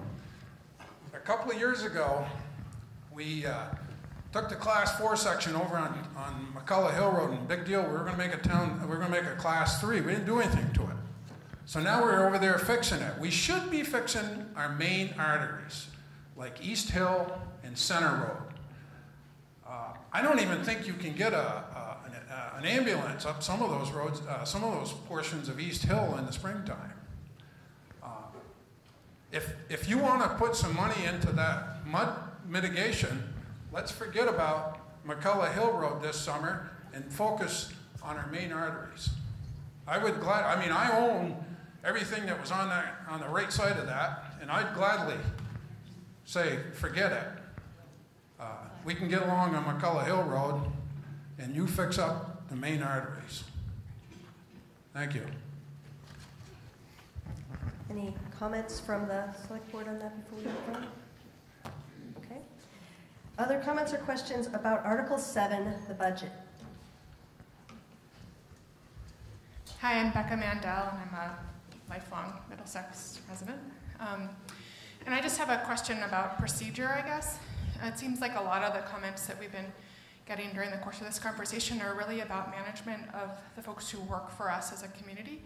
So I'm wondering, they seem separate from the money, and so I'm wondering um, if folks have concerns or questions about how our town's money is being managed, how can they address those in a forum that um, where those decisions are being made? Because I don't actually think we're making any decisions about how the roads get maintained here tonight. We're just deciding whether we're going to give the extra 40 grand for those for that excavator and the person who's going to operate it. So we're sort of saying we are giving we're making that decision and then the decision about how that is going to happen, I think, is getting made later. So I'm curious about when that decision is getting made and how we would know so that folks who, who feel this is really important to weigh in on can have a chance to weigh in and then sort of move on from that. And Right, so Becca, that's a great point, and Becca is asking, I think, the select board, when would be an appropriate time to have additional conversation about the sort of management questions as opposed to spending, which is what we're uh, confined to talking about right here. Got it. So, we have select board meetings twice a month. We love people to come to our meetings. We welcome people to come to our meetings. We respect and are polite to people who come to our meetings. There are no bad questions or no bad suggestions. We truly welcome input. The warnings for those meetings are posted on the town website, they're posted at the school, they're posted at the town hall, so you can see what's on our schedule that we're going to discuss. But if you have an item, anyone here has an item that they'd like to discuss, whether it's the, you know, the four-day work week in the summer, or the roads we're working on, or the plan for the town hall, or whatever it is, contact Sarah, and she will put you on the agenda, and we welcome your input. Don't think you're limited to just what appears on the town warning. Might not be the next meeting, might be in three weeks, depending on how busy we are, but we welcome input from everybody and anybody anytime, and if you don't have time to come down and meet with us, send us an email, send us a letter. We'll, we'll respond to you. We welcome the input, we truly do. Thank you. Thank you. Wendy, microphone right there. Hi, Wendy Freundlich. I am just wondering, you didn't mention Front Porch Forum as a way to announce the select board meetings and the agenda. And for somebody who doesn't look at the town website or necessarily go down to, um, you know, the clerk's office, it would be great if you announced it on Front Porch Forum with a little agenda in a couple days or a week's notice. So I don't, I don't know the answer to the question of whether Front Porch Forum will accept that as a post. We can, we can look into it. I don't know why not. I mean, all, all I'm saying is between, you know, you can, you can call the town clerk's office, she can email it to you, whatever. For somebody whatever like you me need. who's got 10,000 organizational things going on, I would not think about doing anything like that unless it came right up to my nose. So Front Porch Forum, I do look at every day. Well, we can, we can agree to look into that. I have no problem doing that. Our concern with Front Porch Forum is that a lot of folks don't get Front Porch Forum, so that isn't the answer either. But we want to communicate with people, excuse me, we want to communicate with people the best way we can. So I'll promise you we'll look into that and see if we can do it. I would imagine we could put a notice of the meeting on Front Porch Forum saying, remember, there's a select board meeting next Tuesday night at 5 o'clock. Um, whether we can put the agenda on there would be my question. You can link to the website.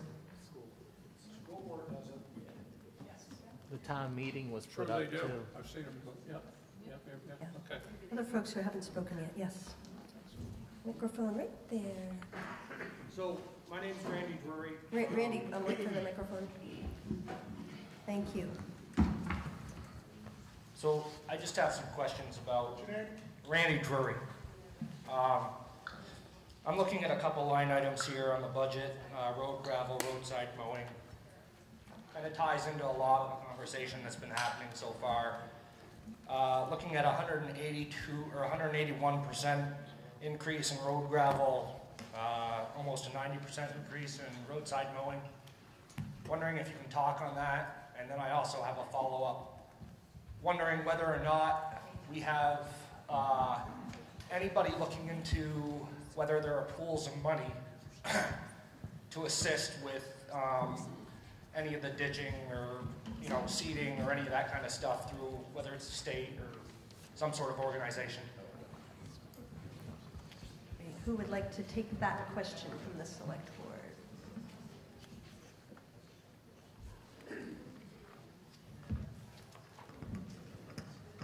Well, while, while Steve's looking for that, I'll just, I'll just make one comment.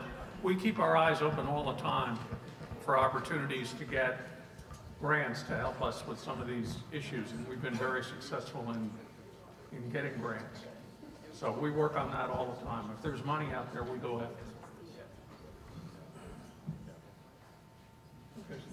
Yeah. So on, on that, uh, the increase that you're talking about, it's, it's like one of the things that Peter had mentioned earlier. Um, It is a, a large increase on the percentage, but as far as dollar value, it, it- it's, it's not that much. Just like to respond to that, just say that. Good. every- Microphone? Thanks.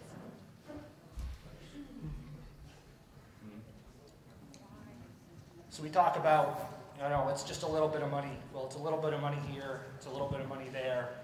You start adding that up, and the folks that are on fixed incomes and, and just barely scraping by, it makes a huge difference.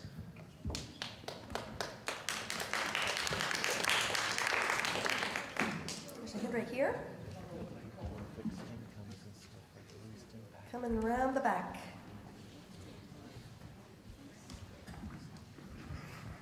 Hi, um, my name is Ronald Brown, and I live down on Route 2. It's not very muddy down here, right on Route 2. Um, but coming up here, I noticed it. Anyways,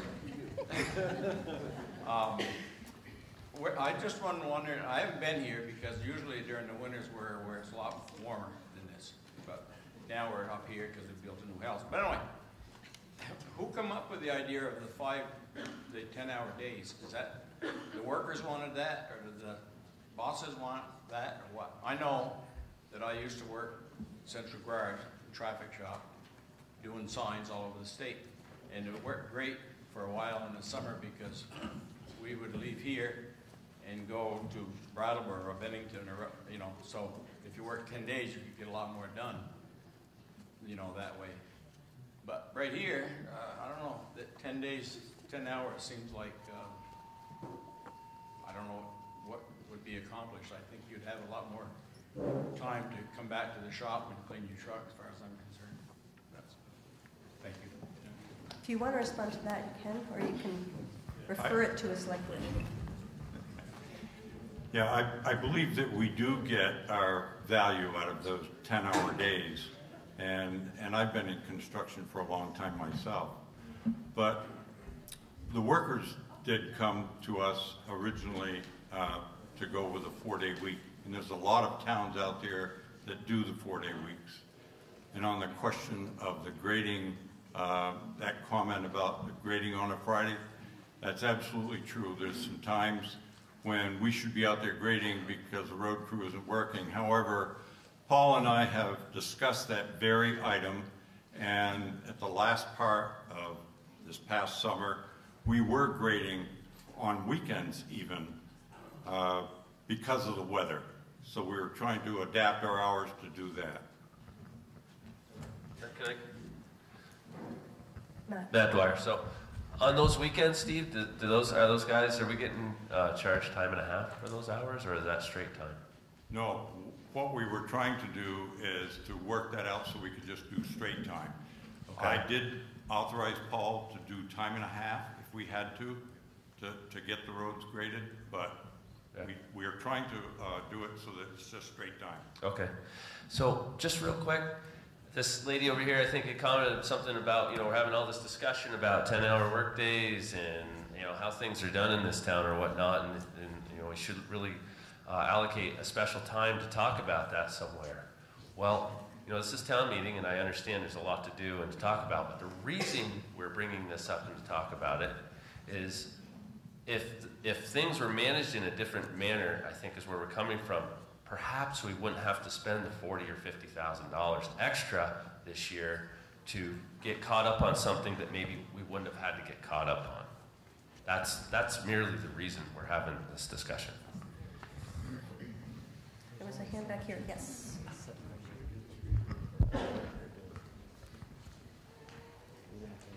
Hey, everybody, I'm Eric Silvers. I haven't been to many town meetings. I, I've always been away, and I'm, I'm happy to be here, and I don't want to miss any more. I love the road crew. You guys rock, man. You rock. And I would work 10 hour days, four days a week if I had a choice. Hell yeah, man. Um, I would appreciate you picking up the stuff on Macy Road, all that uh, drainage stuff on the side that you, you pulled out and, and picked. I would appreciate that. But um, you guys did a great job on Macy Road, man. It's a little bit narrow, but hell, the whole road, man, was like gone, and you put it back pretty fast. So I appreciate that. They didn't do it. They subbed that out to Du Bois. That wasn't our town that did that. All right, well, you made the choice Just- to sub it out. All right, thank you for the clarification. Whatever, man. That Macy Road got put back together pretty quick. Thank you, Du Bois. And I appreciate that. Appreciate that a lot. And, you know, if we're complaining about how much money the road crew's spending, and we're complaining about the potholes, that doesn't make much sense to me.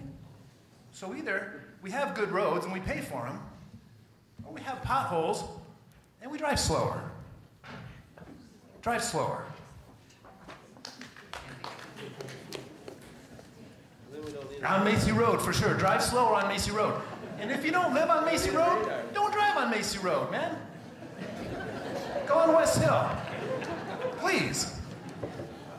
Because there's a lot of people who are driving fast on Macy Road, and we walk on Macy Road, man, and I almost got hit. Okay.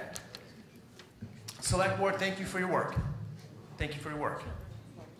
Appreciate that. I have some ideas, but I'll save them for later. Okay, great. And over here, in the corner. Oh, actually, I was calling on Susan Warren right behind you, Elliot, sorry.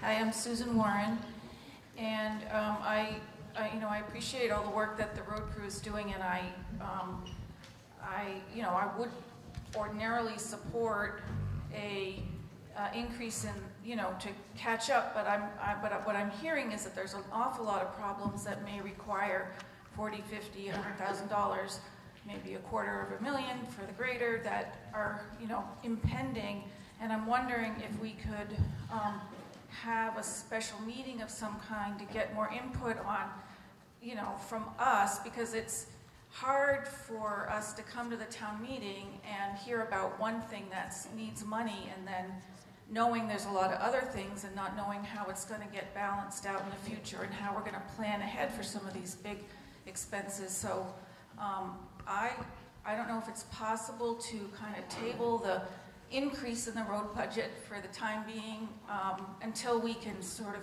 as a group, hear more about the impending decisions instead of having them kind of come at us, you know, year by year um, in the budget, which is, um, you know, it's kind of, it's stressful for everyone to think about. And I appreciate Sarah's information that she provided about a lot of problems that most of us didn't know were impending.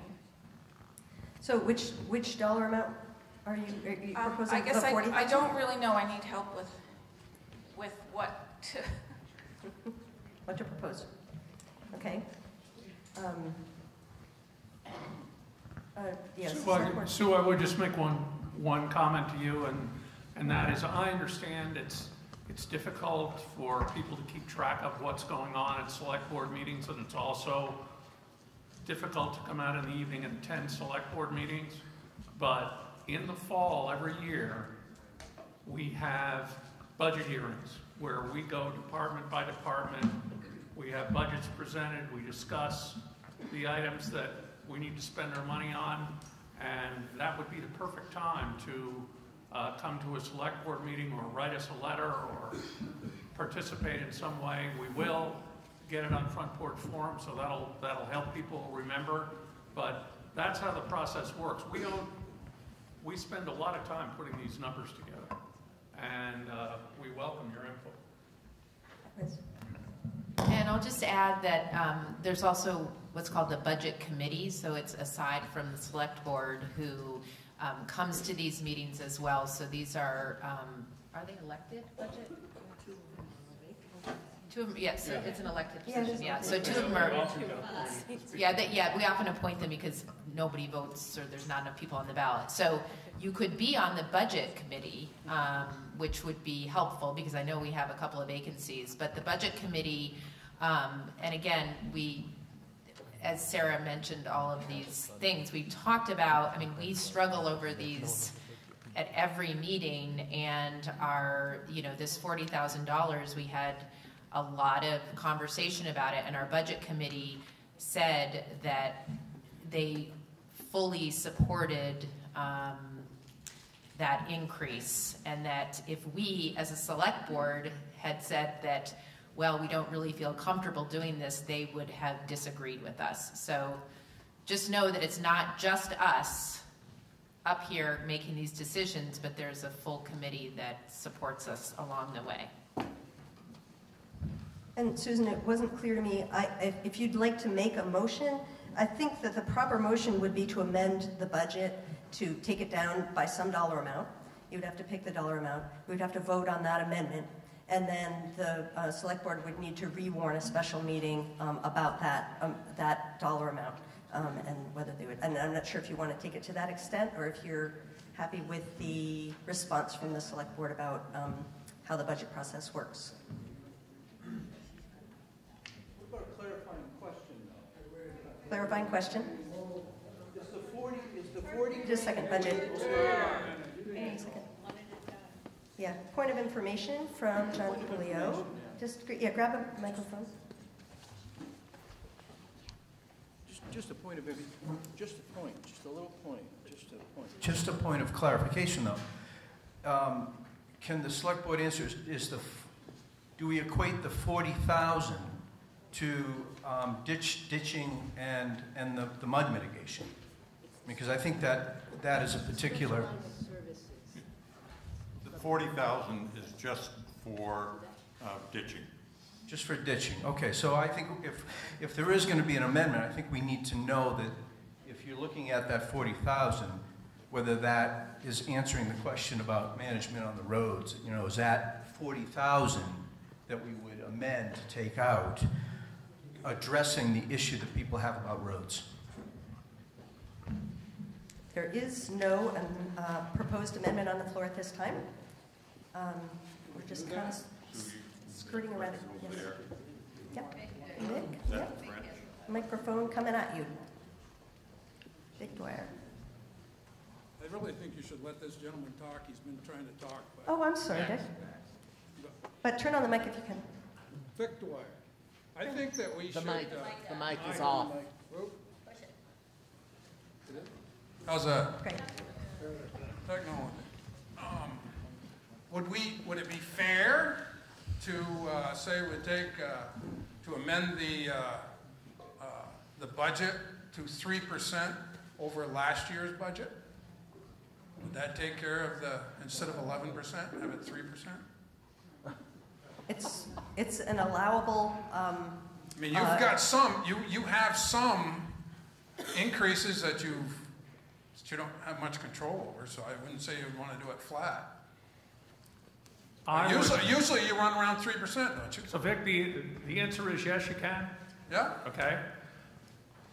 We would much prefer that if you want to reduce the budget, you say, I want to adjust this particular line item in the budget, like, for instance, take out that forty thousand dollar special thing, rather than say, you know, we'll leave it up to you guys, you, you spend the money, but we're only going to give you. Well, ultimately, you do anyways, if, no matter what the budget is, you can spend it anywhere you want, you know you can. Uh, not really. Yeah. We try very hard to stick to. But no, I, isn't the eleven percent, is, isn't that like a hundred thousand? I'm sorry? Isn't the eleven percent increase a hundred thousand dollars? Roughly, yes. Okay, so we'll cut the budget by a hundred thousand dollars. Get ready. Yeah. So. I'll would- make that- would you can I make that amendment? Yes, you can Motion? make a- a motion, yes. Yeah. The motion on the floor is an amendment made by Vic Dwyer to cut the budget, Article 7, by $100,000? All right. Is there a second? Second. It's been moved and seconded to cut the budget by $100,000. Is there discussion on the amendment?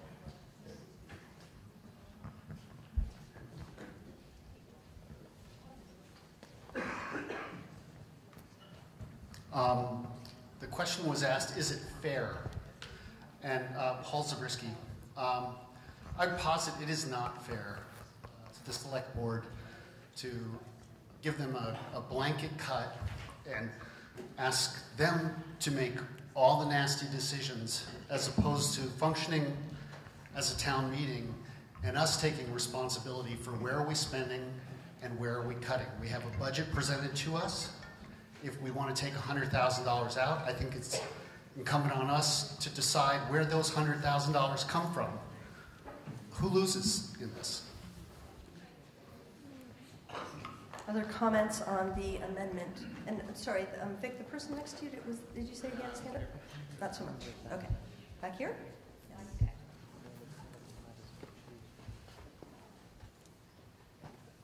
Hi, I'm Jim Cavino. I just have an idea.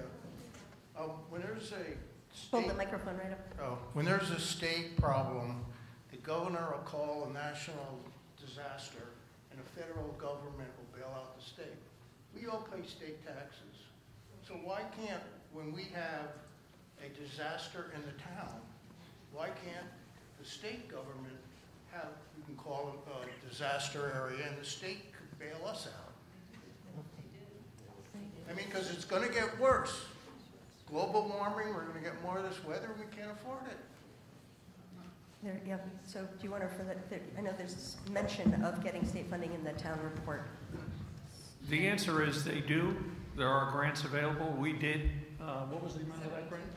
We did get a $72,000 grant for some of this uh, repair work that we had to do after these storms. So yes, there is money. We go after any of that money that's available. We don't always get it, but we go after it.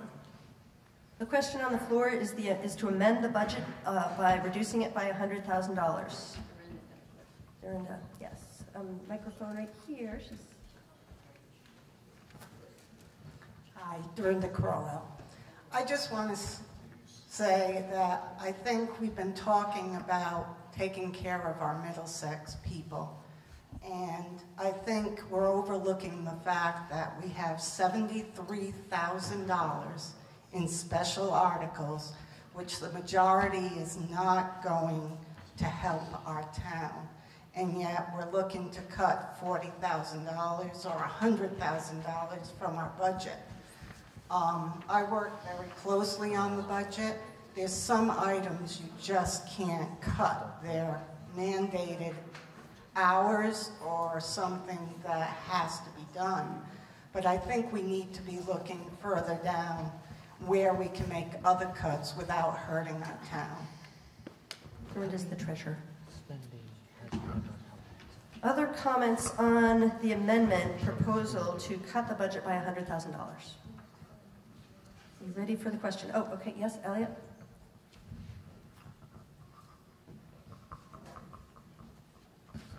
Yeah, I'm just wondering if somebody from the select board can, if possible, can explain to us um, what the impact would be of taking that money out of the budget. If you can project what, where you would be making cuts and how our lives would be changed. Ten percent of the stuff that we pay for, we won't have that money, so we're gonna have to find it somehow. I mean, I, I don't have any, I don't have any, is it gonna come out of, uh, employee pay raises? Is it gonna come out of the forty thousand dollars for the extra work on the roads that a lot of people were supporting and asking us to do? It's gonna have to come out of everywhere. That's a big chunk of money, that's ten percent, more than, almost ten percent of our budget. Other discussion? You ready for the question? Okay, all those in favor of the amendment to cut the budget by $100,000, say aye. Aye. Opposed, no? No. The noes appear to have it. The noes do have it. and the amendment fails, we are back to Article 7 as proposed, the 2020-2021 budget. Your name? Did you get, sorry, your name again? Is there a second to call the question? Jeff Coons. It's been moved and seconded to call the question. That's non-debatable. So this is a question of whether we want to stop talking or not. If you would like to stop talking and just vote on the budget, then vote yes. So all those in favor of calling the question signify by saying aye. Aye. Opposed, no? Okay, so we have just called the question and we are ready for Article 7. Article 7 to vote a fiscal year 2020-2021 budget of $1,323,867 to meet the expenses and liabilities of the town and authorize the select board to set a tax rate sufficient to provide the same. All those in favor say aye. Aye. Opposed, no? No. Noes were heard. The ayes have it. And Article 7 is passed. You have a budget. Um, and we will move on to Article 9. But before we do, I would like to take a 60 second stretch break. 60 seconds. I mean it. Touch your toes.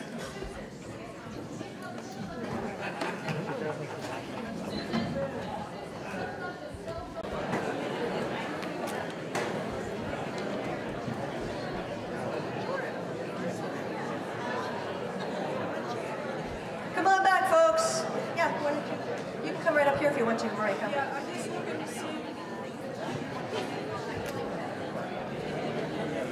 Okay, we're reconvening, and Marika Gillis has a comment. Hello, everybody. Uh, I actually, it's not really a comment, but I thought this might be a nice time uh, to recognize one of our town people who is gracing the cover again for the second time with her beautiful artwork. And her name is Ruth Pope, and she and she's walking in. Ruth, I'm, Ruth, I'm recognizing you again for your beautiful cover.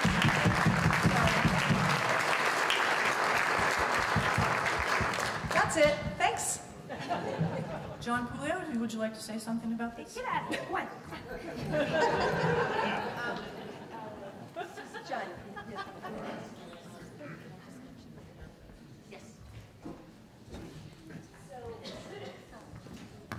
Hello. Hi. I really liked the words that the kids say in the beginning about us being civil and remembering that we're all neighbors, and I thought that that was a good conversation that we just had. And I would invite all of you to stay after town meeting and share a meal together. The proceeds will benefit the Middlesex Fire Department, um, and it's spaghetti with meat sauce and pesto, and I believe it's eight dollars. And Susan Warren made some white rolls that are quite delicious. So I hope you will all join us and sit with your neighbors and have a nice conversation. Great. John Coolio. Yes.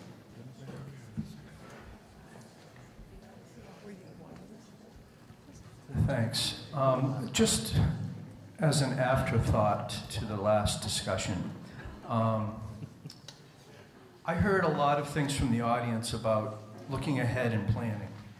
But I didn't get a sense, with all due respect, and as civilly as I can bring this up, with all the hard work that the select board does, I think there's a little tone deafness here. I heard from many quarters here that people are looking for a process. They're looking for a commitment to a plan for the future.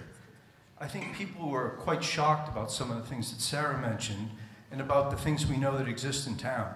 But I'm not hearing from the select board that you heard that. And I don't know what that would take. Some commitment. It's all well and good to say, we have these meetings, come on down. And I respect that, and people should participate. But I think we've reached a critical point in this community where we need leadership, and I think it should come from others in town, but as well, and most importantly, from the select board to say, we heard you loudly and clearly tonight, and we would like to engage in some kind of process, a five year plan, whatever it is, that would engage the public in ways. I think we have talented people in town that would help mediate that, organize it. We did a wonderful process over the past few years to see what does this town want and need. Can we come back to the drawing board and look at a long-term um, process where we can address, uncover the needs, prioritize, and then over the next five or eight years, prioritize how we add things to our budget to address what I think are some critical issues in town. Okay, thanks, Uh, John. So And is, is the select board willing on some level to commit to looking into that or to that, a process like that? Yes, we are, whether it's creating a building committee or whatever the process would be. We want community involvement, yes. We've been wanting to set up a capital budget for quite a long time, and the fact of the matter is that we just haven't had really the ability or the fortitude to go out and get some estimates on these things. Because if we're talking about a new town hall, we're talking about about what we paid for for the fire department. If you remember that, that was almost a million dollars, and it's more now. And it was funded over a fairly long period of time. If you look at under the debt service, we're still paying that off. And then you start adding the other things we need. I mean, each of these is a major, major capital expense. So I think that for myself, I've wanted to do a capital budget just like we do the five-year plan for the roads because you guys deserve to know what it is we have in our mind, especially when it's so expensive. But I think for myself, it's been a little frightening to think about the major expenses because if you look under the debt service, we have to have the trucks, we have to have the excavators, we have to have all of that. And they are major, major expenses. Um, Sarah has been the person who's pushed the most for a new town office, but she is the one, along with our assistant clerk, who's in there the most. And the radon exposure is phenomenal. But um, we really have to put our, from hearing what Sarah's uh, kind of plea to the community, it gives us a new sense we ought to be getting those bids and we ought to be doing more serious work. I, of course, wanted to use part of the fire station, but then you can't really be around the equipment and uh, the ability of the fire department to respond to the need for the vehicles. But we hear you, and you know maybe we should put together a buildings committee, and we would welcome anybody to start coming to some public meetings and uh, help us get some bids, get some ideas on how we can do it in the most economical way. So I, I uh, support what Peter has said. Don't know if any of the other people on the committee want to. I support. I, I support that, and I would totally welcome us, and I, I'm sure that will be the topic of our first meeting, is figuring out how we're gonna present that to you guys. Okay. I also agree.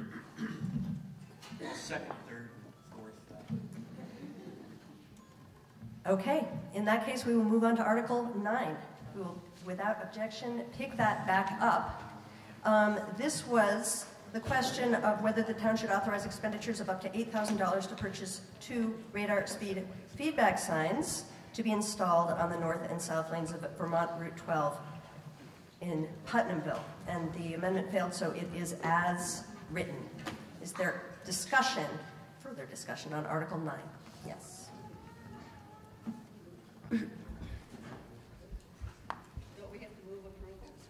We already did. We picked it back up again. So I just want to, Amy Whitehorn, just want to remind everyone what Dorinda was just saying. Um, on page 43, you can see the list.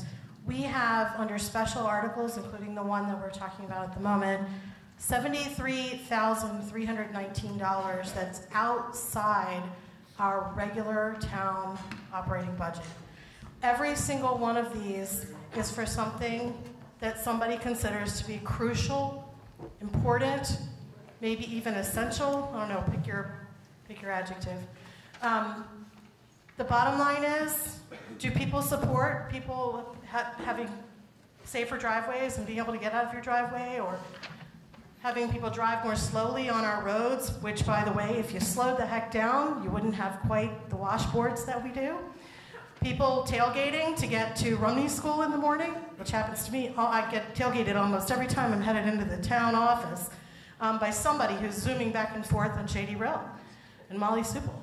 Um, that, that's not helpful to our roads, and it doesn't make them safe. And, an, and a blinking sign, I'll be all respect due, might get somebody's attention, but we also have in our budget funding for the sheriff's department to do more traffic control. Let's have them sit at Norton Road in a really conspicuous place. Slow the hell down, people. And maybe on the other side. And by the way, Culver Hill, you know, Liz mentioned at a select board meeting last year, and I've had this experience myself of nearly being creamed trying to pull off Culver Hill onto Route 12, going toward Montpelier, turning right onto Culver Hill. People speeding up Route 12. There's need all over town for this. So maybe either we go back to the idea of some sort of portable board so that the amendment maybe would be to use the monies in a different way. Um, or we just, because we're talking about our own, this is Middlesex, right? Middlesex issue, Middlesex special issue. Um, or we use monies that are already in the budget we just passed to do some more traffic control all around town. Um, just to address the traffic control, and correct me if I'm wrong, um, but I believe that it's not that the there's money to do it. There is money to do it. I believe there's not enough staff for the sheriff, and they're not able to like meet the. They, they just don't have enough people to to traffic, so they have a hard time doing the budget. It's not because they don't want to do it or there's not enough money to do it. We could double the budget for speeding, but I don't believe there's, and maybe you know because you're a, a, state policeman, but there is a shortage of people um, to be doing this work.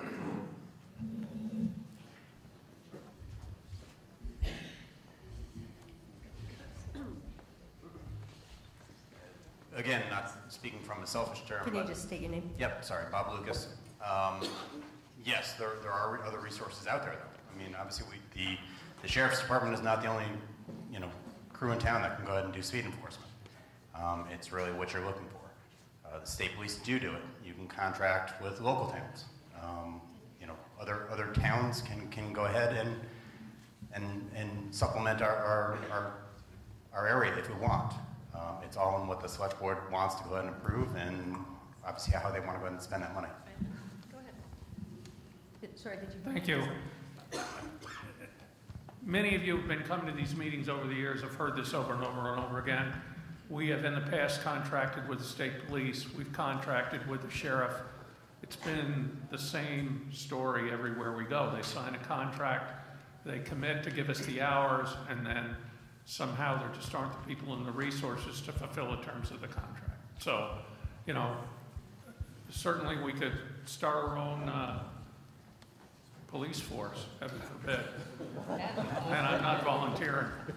Um, it's a real, this, this speeding thing has been an ongoing, annoying challenge, dangerous challenge for all of us in town. Yep, right back here in the back. Hi, Brian Prendergast. Um, we're here talking about money um, and taxes and all that, and I and I I feel for some of the comments that people said. Let's, you know, really bring our focus onto what Middlesex needs, and stop thinking about outside of Middlesex. Um, this is partly about this issue about the radar but it's also about where we're heading in this part of the meeting with all these special asks of $250 and less. Um, if you look at that list, almost every one of them, I, probably every one of them, serves Middlesex. So even if it says Waterbury under the title and they're asking for $250, they're serving people in Middlesex. Um, you know, I, I'm a mentor with Girls Boys First. And so I want to especially, you know, just perk up for that because that's serving kids right here in Middlesex. Um, when it comes down to the dollars and cents, which is what we're voting here today, the average cost of all these amendments, again, are $65 each. Now, I, I actually borrowed money to pay my tax this time, but, you know, $65. What do I have to do to cut back on my expenses so that I can support, help support every one of these special initiatives, including the radar, including Girls Boys First, including Meals for Wheels. I mean, go down the list and just think about okay, you take those stuff out of the budget. We're really hurting people on a, on a daily, everyday, personal, one to one basis. And for 65 bucks, that's a pretty good deal, I think, for me. So the article is $8,000 to purchase two radar speed feedback signs. Other discussion? Sorry, here in the red sweater.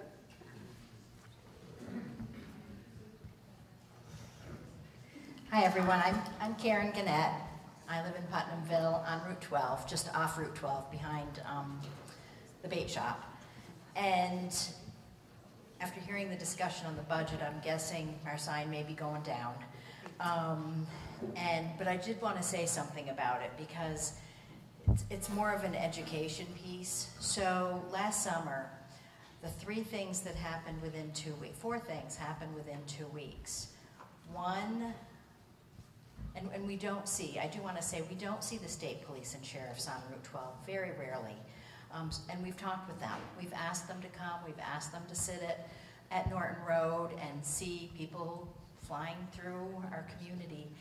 And sometimes they come when we first call them, and they'll come for a couple times, and then they disappear again, and we don't see them for a while.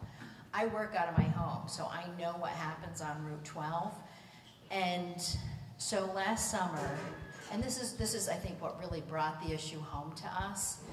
Um, one day, driving home from a meeting, there was a car flipped over in the middle of Route 12. Flipped over.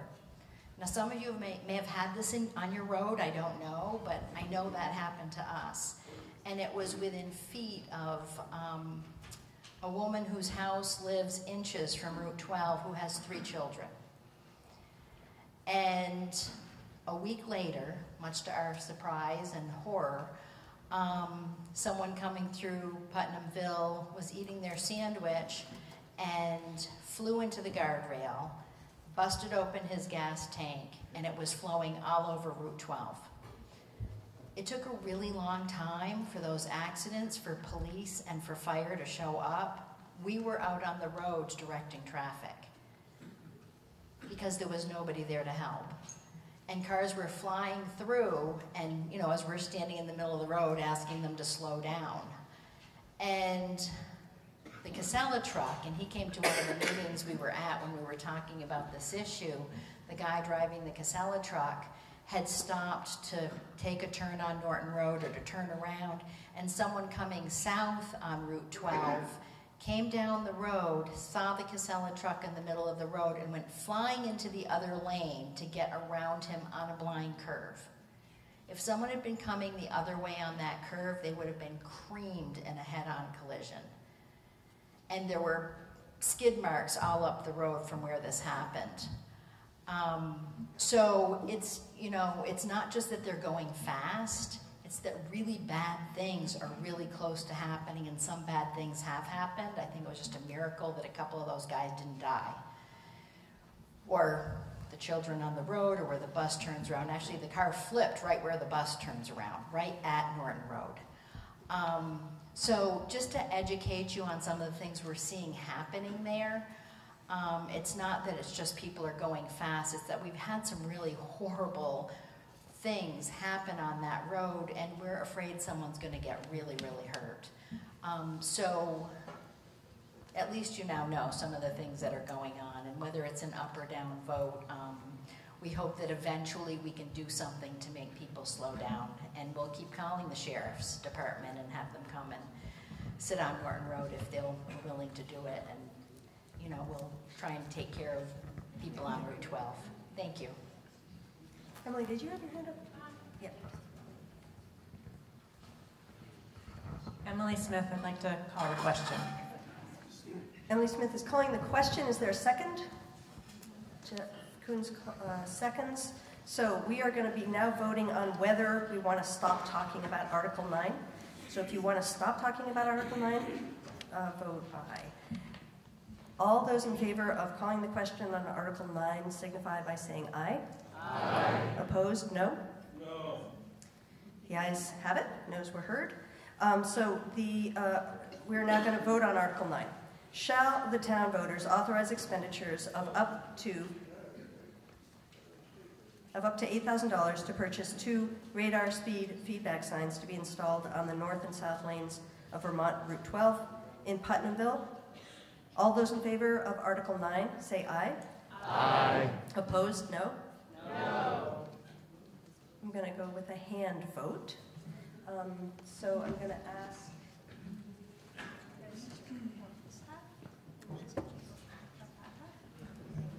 So we're going to do this by hand, a hand count. All those in favor of Article 9, please raise your hand and keep them up. Yes.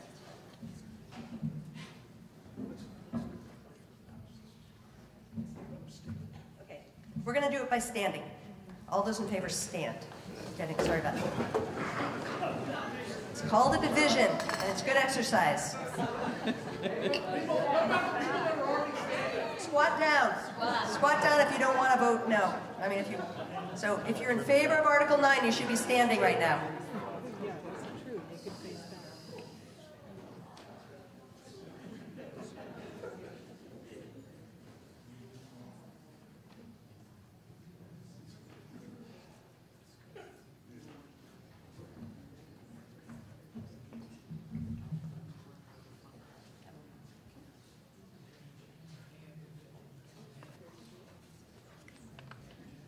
Even if it doesn't have a huge impact, every little bit helps.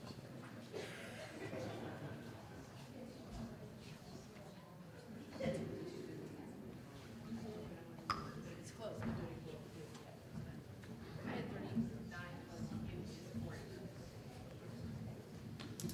Thank you. You can be seated. All those opposed to Article 9, please stand.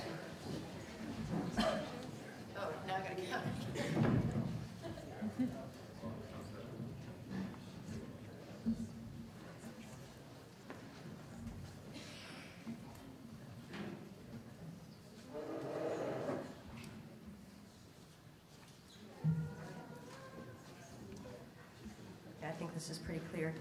The ayes have it, and Article 9 is passed. Thank you.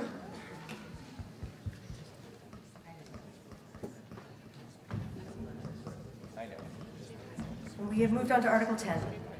Article 10, shall the town voters authorize expenditures of $600 for the Central Vermont Economic Development Corporation? Is there a motion on Article 10? Jeff Koons moves. Is there a second? Sorry? E- Eric Benedict seconds. Article 10 has been moved and seconded. $600 for the Central Vermont Economic Development Corporation. Any comments, discussion? Yes.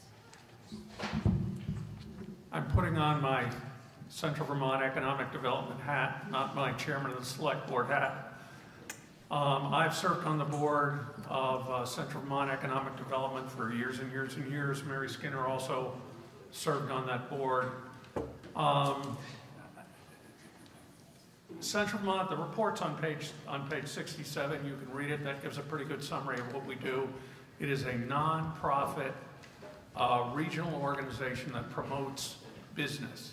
So it's about, it's about jobs, it's about supporting small businesses.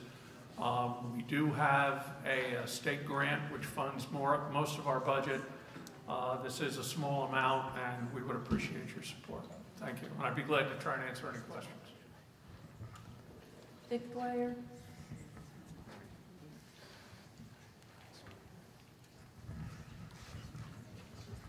Um, Nick Dwyer, um, Peter, you know what the total budget is for that? It is in the range of 800,000, I believe, Vic. Really? Good, okay. They have, they have uh, two full-time employees. Okay. They don't earn 400,000 each. And um, just as a reminder, the articles that we're heading into are actually in order in your warning. So Article 10 is on page 67, and it goes from there. And also, while I'm interrupting myself, I will um, tell you that the polls close uh, at 7 o'clock. So if you wanted to vote in the presidential primary, you can for a few more minutes. Yes. John Krasinski, Pete, can you just tell us if there's any examples of this organization benefiting anybody in the town, town business, town organization? We did uh, the Red Hen Bakery through them, so that's a pretty good one. That is a good example. There have definitely been uh, businesses in town that have been supported over the years. The Red Hen is the one that, that comes to mind immediately. But uh, it is it is businesses. Uh, you know, Keurig, Keurig Coffee was supported by uh, by Central Vermont Economic Development. Bombardier was supported by Central Vermont Economic Development. Quite a few. Cabot Cheese was supported by Central Vermont Economic Development. And although those businesses are not in Middlesex, um, I'm sure we have people in Middlesex who work for those organizations. So it's about creating those jobs. Additional comments or questions about Article 10? Ready for the question? Shall the town voters authorize expenditures of $600 for the Central Vermont Economic Development Corporation? All those in favor say aye. Aye. Opposed, no? No. The ayes appear to have it. The ayes do have it. Those were heard. And we will move on to Article 11. Shall the voters authorize expenditures of $4,050 to support Central Vermont Home Health and Hospice? Do we have a motion on Article 11? Dave Shepard moves. Is there a second? Yes, and say your name nice and loud. Lisa Carlson seconds. Oh, someone else second. You can put whoever you want, Sarshan. Article 11 has been moved and seconded. $4,050 to support Central Vermont Home Health and Hospice. Is there discussion?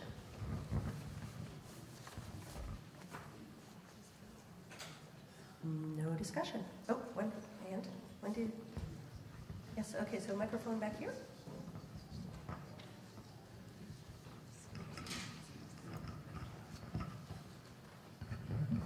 I um, am Wendy Freundlich. I have a background in gerontology, although it's not the work that I'm doing at the moment. Um, and I have aging parents. I used to work up at Heaton Woods, and I know firsthand how valuable it is to be able to die at home with support, whether it be at an assisted living or in your personal home. I can think of nothing more valuable than supporting an organization that lets us have that choice with support. And Home Health and Hospice does that. Thank you. Other discussion on Article 11? You ready for the question? Shall the voters authorize expenditures of $4,050 to support Central Vermont Home Health and Hospice? All those in favor say aye. Aye. Opposed, no. The ayes have it. Article 12, shall the town voters authorize expenditures of $3,000 to support community connections? Is there a motion? Jeff Koons moves. Is there a second? Moved and seconded. Article 12, uh, $3,000 to support community connections. Is there a discussion? I think Chris Malone asked to speak on this. Yes. Do you want to? Um, Chris Malone is the Rumney Community Connections site coordinator. He does not live in Middlesex. Are there any objections to a non-voter addressing this question? No? Go for it. Okay. All right, thank you very much. Um, Community Connections at Rumney is a before and after care program. More than half of the student body will attend at least once throughout the year. A lot of students use it very regularly. Um, we provide programming um, in the afternoons with crafts. Right now we've got snowshoeing, um, cooking, winter treats, and things like that. Um, and another thing that I really like about this program is that it brings Doty and Rumney students together in the afternoon because Doty shares the program with us. Um, so we're asking for $3,000. We do that every year, and we're always grateful for the town's support. Um, I'm happy to answer any questions about the program. Any questions for Chris Malone? Ready for the question? Shall the town voters authorize expenditures of $3,000 to support community connections? All those in favor say aye. Aye. Opposed, no? The ayes have it. Article 12 passes. Article 13, shall the town voters authorize expenditures of $1,500 to support Girls and Boys First mentoring? Is there a motion on Article 13? Say your name nice and loud. Brian Prendergast. Brian Prendergast. And uh, is there a second on Article 13? Second. Laura Lyle seconds. So Article 13, $1,500 to support Girls and Boys First Mentoring has been moved and seconded. Is there discussion? Jeff Cruz. Microphone right over here. It was a race. Hi, um, we've been giving $1,500 to this every year. Last year, the, the number of children involved were 10, I believe, and one was in Montpelier. Um, that equates to basically $150 per child. Community Connections doing over 100 for $3,000. The library, when that comes up, usually about 50 a person. Um, I would make an amendment that we reduce this to $500 uh, this year. All right, so the motion is to amend Article 13 to make it $500. Is there a second to that amendment? Nathan, loud your name? Sorry. Great, Matt Dwyer. Uh, okay, so it's been moved and seconded to change the $1,500 to $500. And I imagine Wendy is going to have something to say about that.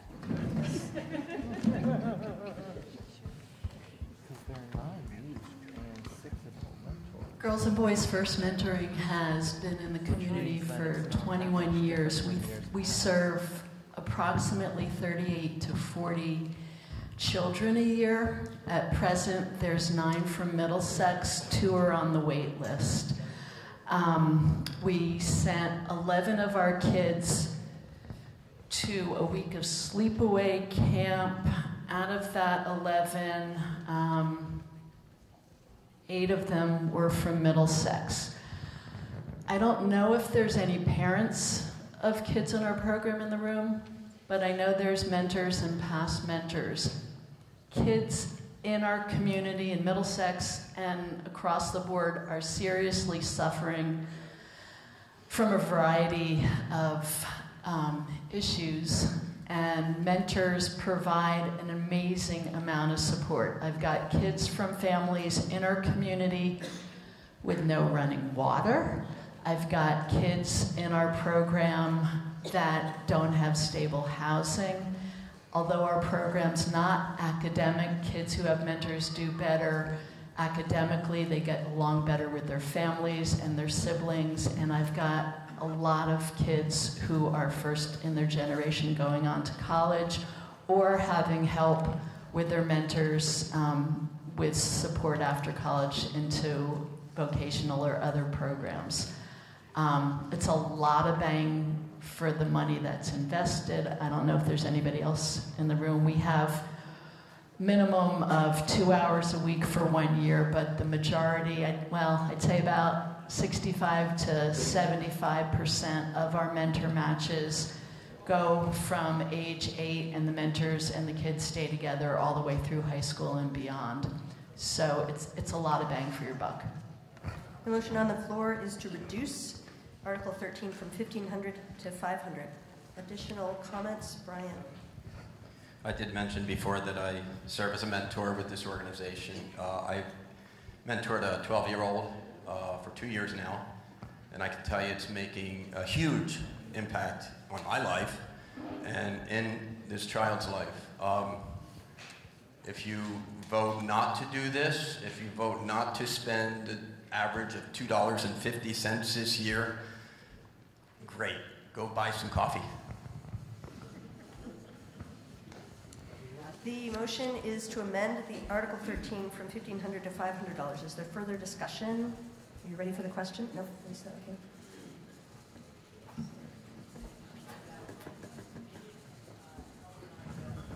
Lisa Carlson. Um, seems to me that that if we can end up with students, with children who are likely more likely to grow up and pay taxes and contribute to our economy, rather than ending up in a situation where they have difficulty finding a job or end up in prison or any number of other things that can happen to children who don't have the services that they need.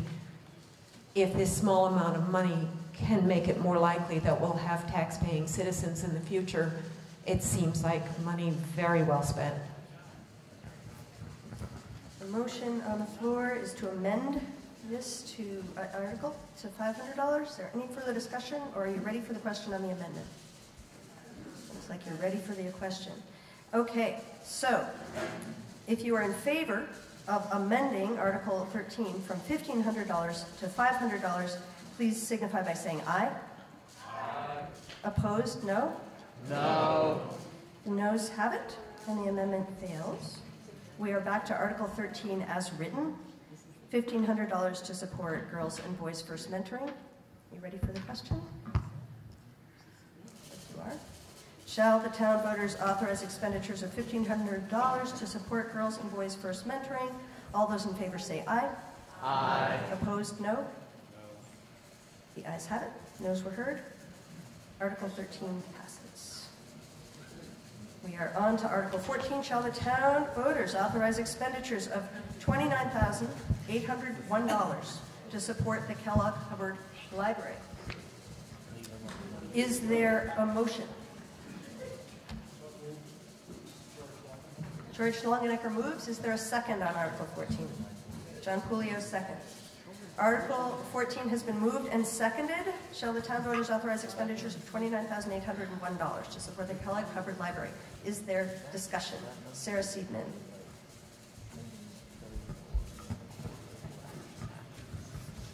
Hi, Sarah Seidman. I'm the new representative to the Kellogg Hubbard Library. I'd like to start just please with a little round of applause for John Paleo, who was the representative before me for six years. Is that right, John? Thank you. Thank you, John. Thank you for your service. Uh, on page 71 in your report is the re- is is the uh, report on the Hubbard Library. It's the second busiest library in the state. I want to give a little bit of news, which is that James O'Hanlon, who's the owner of the Savoy Theater, is our new volunteer doing a story time at the Rumney School. So we are looking forward to having him up here telling stories to the kids. I'm happy to answer any questions. Questions uh, about the library for Sarah or just comments on Article 14? Amy?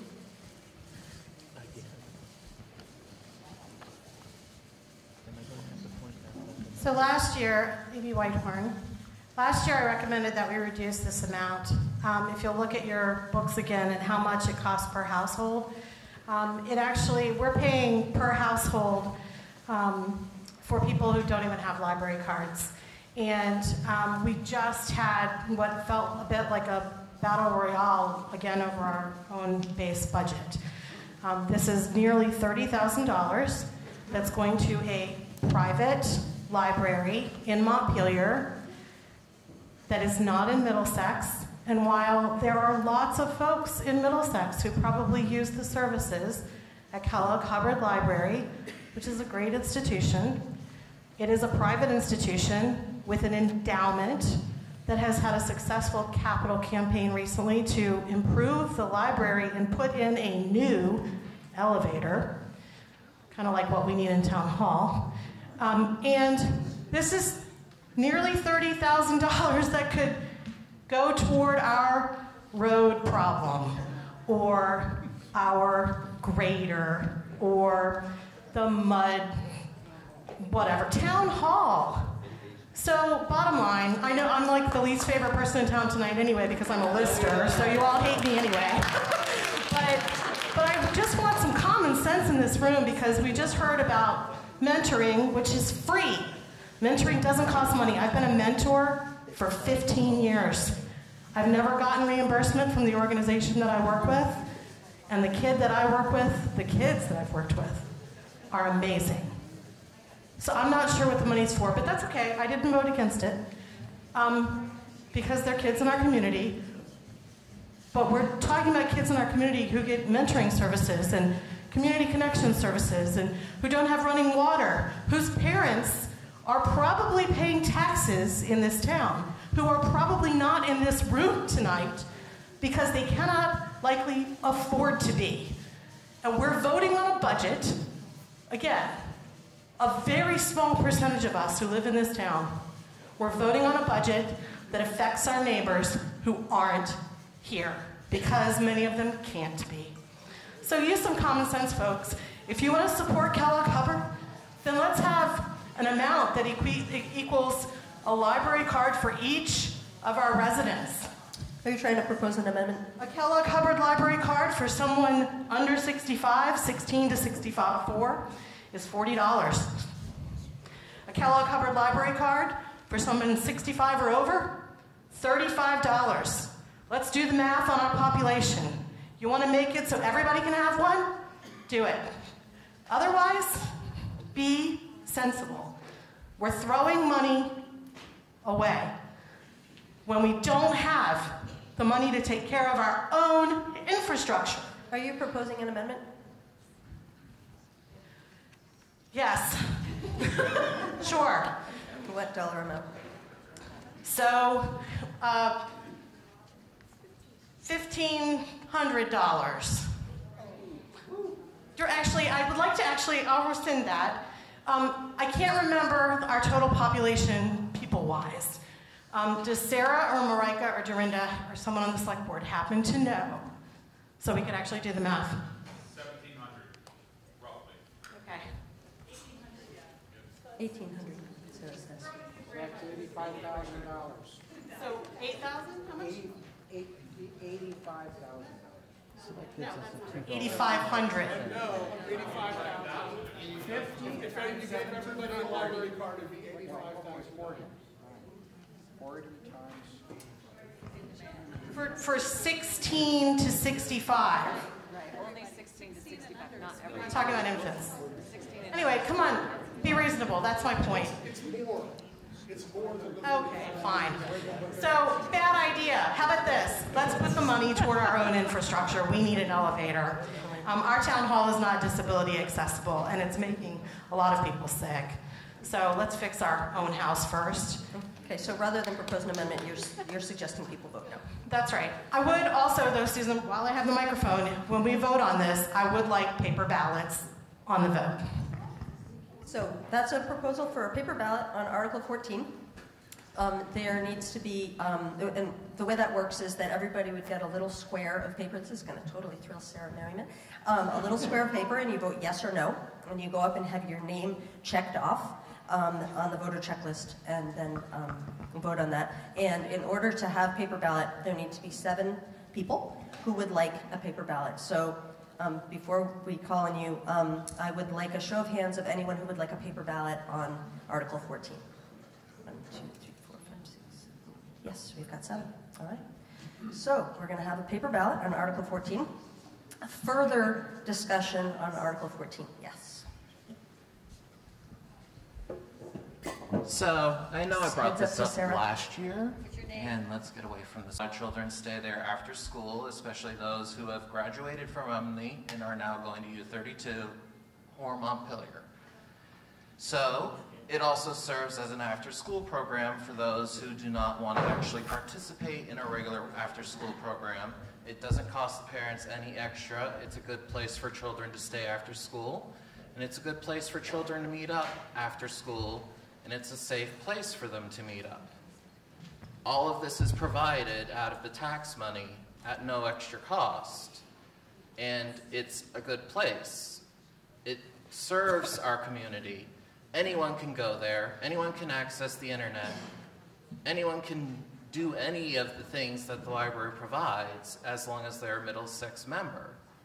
So you just have to tell the librarian up front, hey, I'd like to use the computer.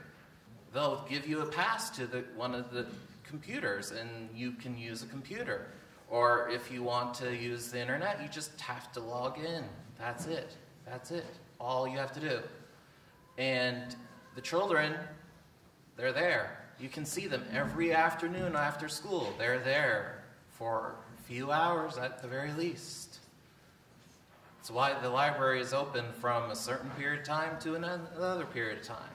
Yes, some parents may not utilize the library as much as they do, and some adults may not utilize the library as much as they should, but the library exists so that you can utilize it.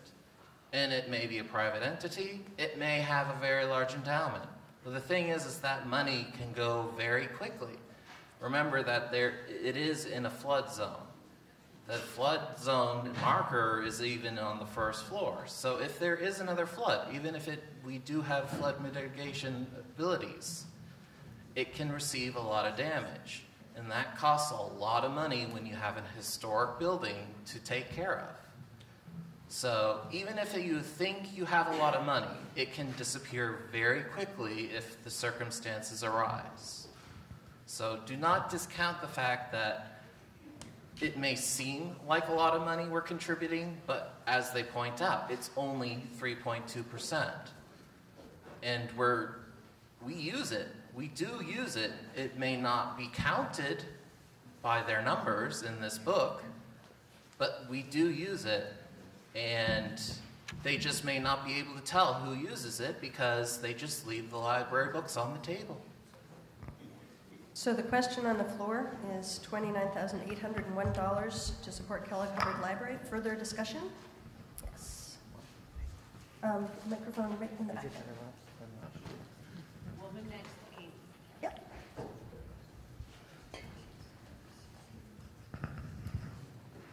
Hi, Jess Clark.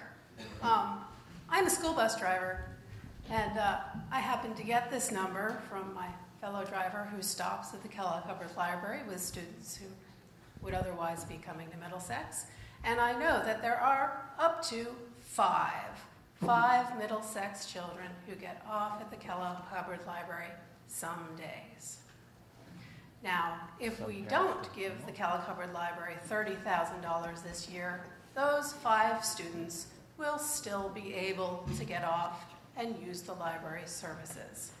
In fact, I did the math, and for the number of people in town that have library cards, we are paying more than $50 per library card for Middlesex people to use the library.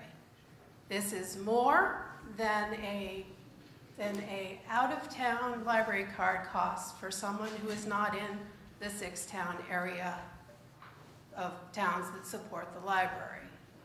So I would propose an amendment that we provide $15,000 to support the Kellogg Hubbard Library. Thank you. Okay, and your name again? Sorry. Jessica Clark. Jessica. I should be able to remember the Clark part. Jessica is uh, proposing that we amend Article 14 from 29,801 to 15,000. Is there a second? No, the paper ballot is for the, she asked for that on the ultimate question. Oh, at the very end. At the very end, yeah, once we're done amending it, if we amend it. So is there a, um, a second on, um, is it, is that a second? Yeah, John Krasinski seconds, okay. So it's been moved and seconded to amend Article 14 um, from $29,801 to $15,000. Is there discussion on amending Article 14? Yes. Yeah, sorry, is somebody trying to get my attention? Oh, oh sorry, okay. Right here, and then August will be next. I'm Hugo Liebman. I live on Garand Hill Road. I'm in and out of the library multiple times a week. One reason is I get books that are designated for a preschool. I read them and then I go to the preschool daycare center and I read books once a week to the kids, three-year-olds. Uh, it's great fun. It's great. They, I'd love to see their excitement. But when I'm in the library, I see a lot of people, all ages, using computers, staying warm, attending programs. I think it's a tremendous cultural resource, a safe place to go, and I think it deserves our support. It's a real investment in emotional health, education, and I think we ought to support it wholeheartedly. Thank you. Microphone in the back corner. And it's a race. I'd like to just address August um, Burns. August Burns. Um, every year there's a discussion on the library, and uh, for as long as I've been coming to town meeting, about 30 years, it's it's the question. Um, I just wanted to know. I really, you know, I honor the argument that there's people who are on fixed incomes, can't afford taxes that are there if taxes go up is a real burden. Is it, um, can you talk at all about tax relief in this town and how we can make it happen so that it's not a burden, so we don't starve our town in order to make sure that it isn't a burden on anyone, and yet we create resources that everyone can have, including a town clerk's office, to, including an elevator so people can get where they're going, including a library, because the Hubbard Library is, um, all the libraries, I believe, in Vermont are private libraries, but it is our library. It's the library of our town. And people have a right to use it. That doesn't mean they must. But I just, it has, there has to be a way that, um, you know, every time we need something in this town, we can't do it because we don't want to burden people who can't afford it. We need to have some kind of a mechanism, and I think there is one. Is that right or not for people who need tax relief to get it? So August asks, I think her question is directed maybe to the select board. if- It's directed to someone the select board. Is there a You know, um, what is the property ta- tax relief? What is the property tax relief mechanism so that this isn't a burden and yet everyone can have the services um, of a full and rich community?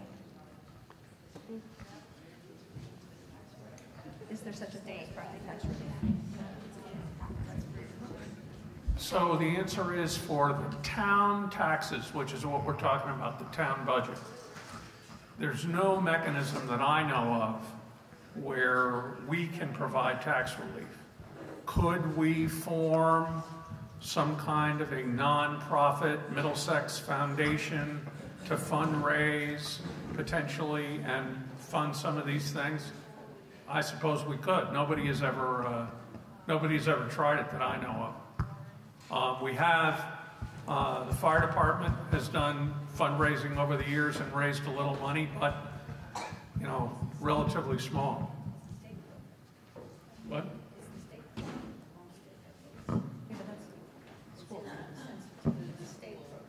Yes, that's, that's, that's the school tax, it's not the town tax. Right. Okay. Wendy?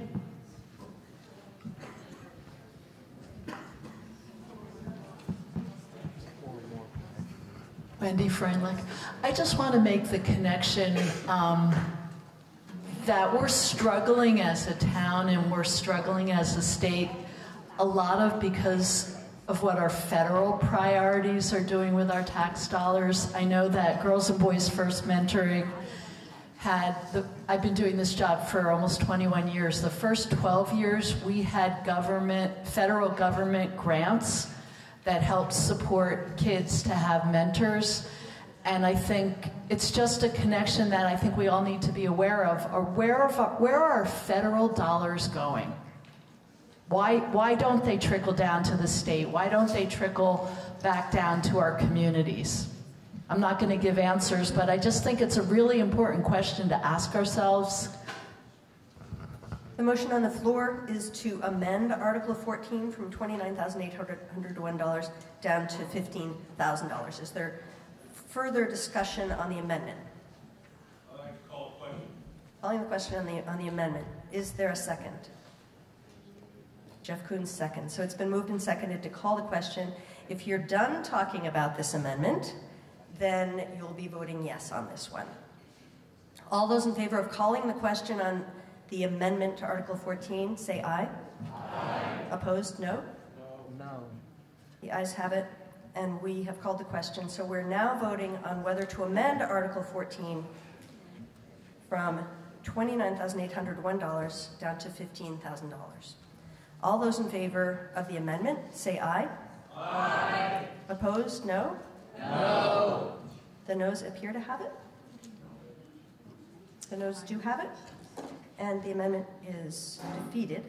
We are back to Article 14. As written, $29,801. Is there further discussion on Article 14? John Polio.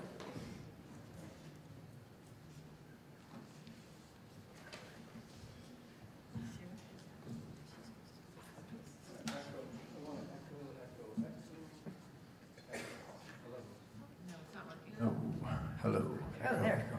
Just want to echo um, um, August's sentiment about tax relief and finding some way to, to address that issue in town. Um, I think it's a necessary thing. I wanted to clear up a couple of things about um, the Kellogg Hubbard Library. One, it is not a private organization. It is a private public organization. So there's a difference there. I don't want the mythology to be that it's some uh, corporate entity, some private place on the hill um, that, that we have no business serving. Um, the other thing is that the, the number of people served in town, 591 people have cards. If those people paid the $40, you know, break it down between the 35 over 65 and 40, but let's just go with the $40 number. Um, if they were to pay $40, that would decrease what um, this town would support the library by about six or seven thousand dollars. So where does that affect uh, the Kellogg Hubbard? It may affect how many hours are open during the day. It may affect some of the after-school programming that exists there. So that, that there's one thing there. Um, the people in town are not paying fifty dollars for their for their card. They're paying based on the tax rate.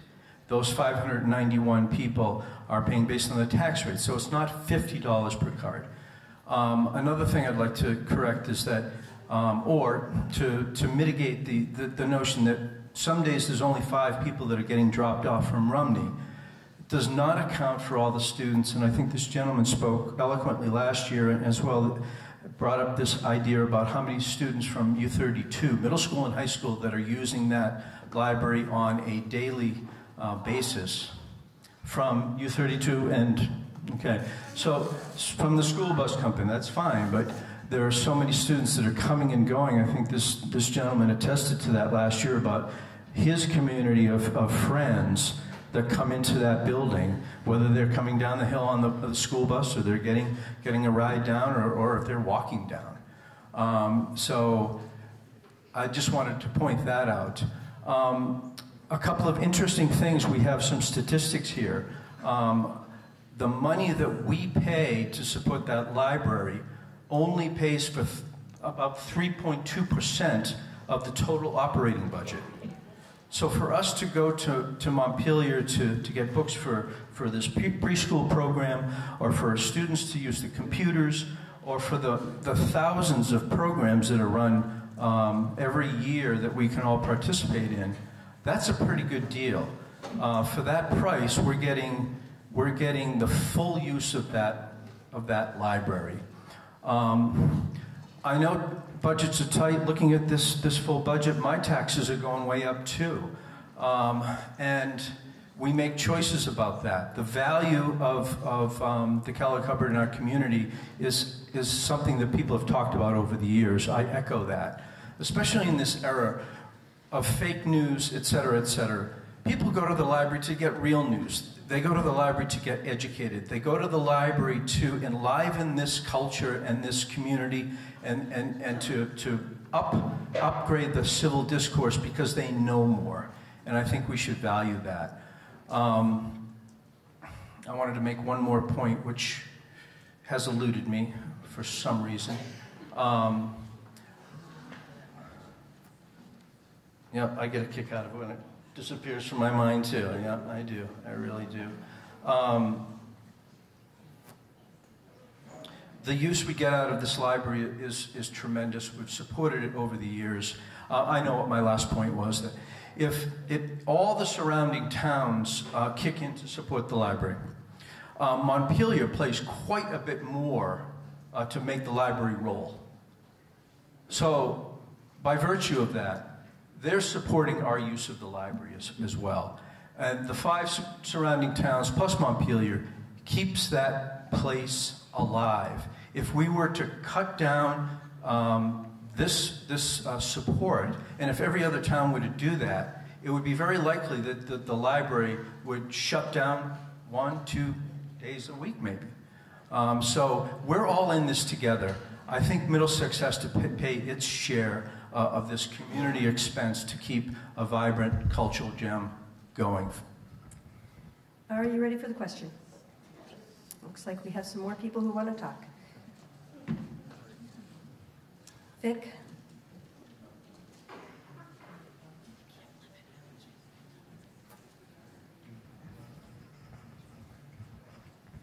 Vic Dwyer.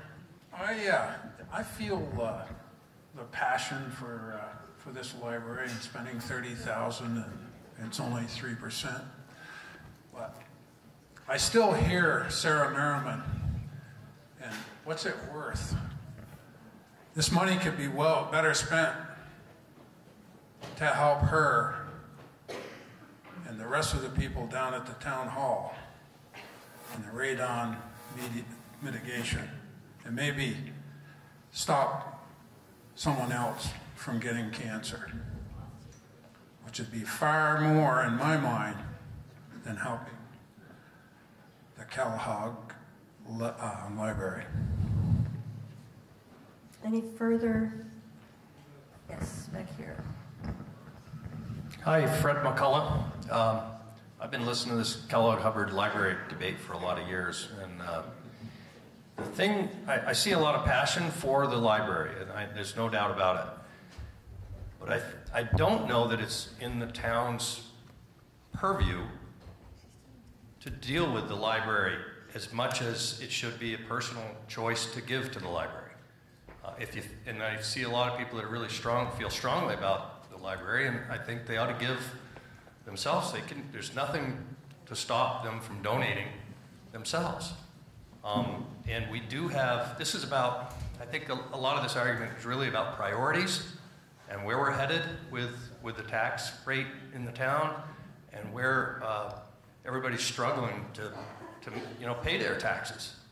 And this is, yeah, the library is something that's always comes up. It seems to be the one that, that really gets people fired up. But uh, I think it's more about priorities and, and and what should we be spending our money on. And sometimes you have to make hard choices. So that's that's just my opinion on this.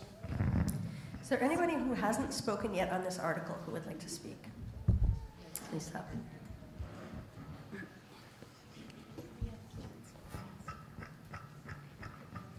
Lisa Carlson. Um, we're, we're not right now being given a choice between fixing the radon situation at- or the elevator at town hall uh, versus the library.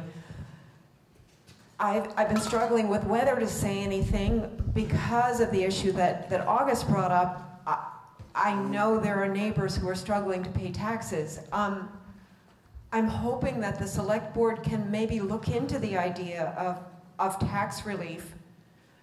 Um, for the moment, we're not giving, we as a town are not being given the option of discussing or figuring that one out, but I hope that that one can get figured out because I know I want to support the library and I know we certainly have limited funds, but if we as a town can coalesce and do these things, then we can have a beautiful town. And if we can do it in a way that that that people who cannot do this can apply for tax relief, then that seems like that could solve both both issues. But right now, we're not giving being given a choice between Kellogg Hubbard Library versus fixing the elevator. It, it, we don't have that choice. We haven't been given that choice yet. Um, but but in terms of lower income people having access to information and all of us being equal in that respect, having access to computers, having access to books, having access to information, libraries are the great equalizer in that respect. And um, uh, if we were if we were being given a choice between making town, making the town clerk's office safe versus the library, I, I probably might have have to go that way. But we're not being given that choice right now. There's a hand in the back, yes. Can you bring the microphone back there?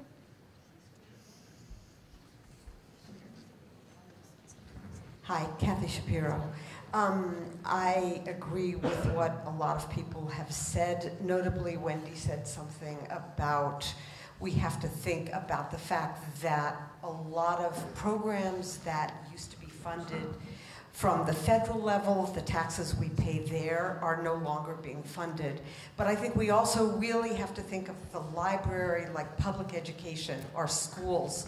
It's a place, the library is a place that is a repository of information, of history, of culture. It's a place where all of us can go. We can have a meeting room for free. We can put on events with audiovisual equipment that is there.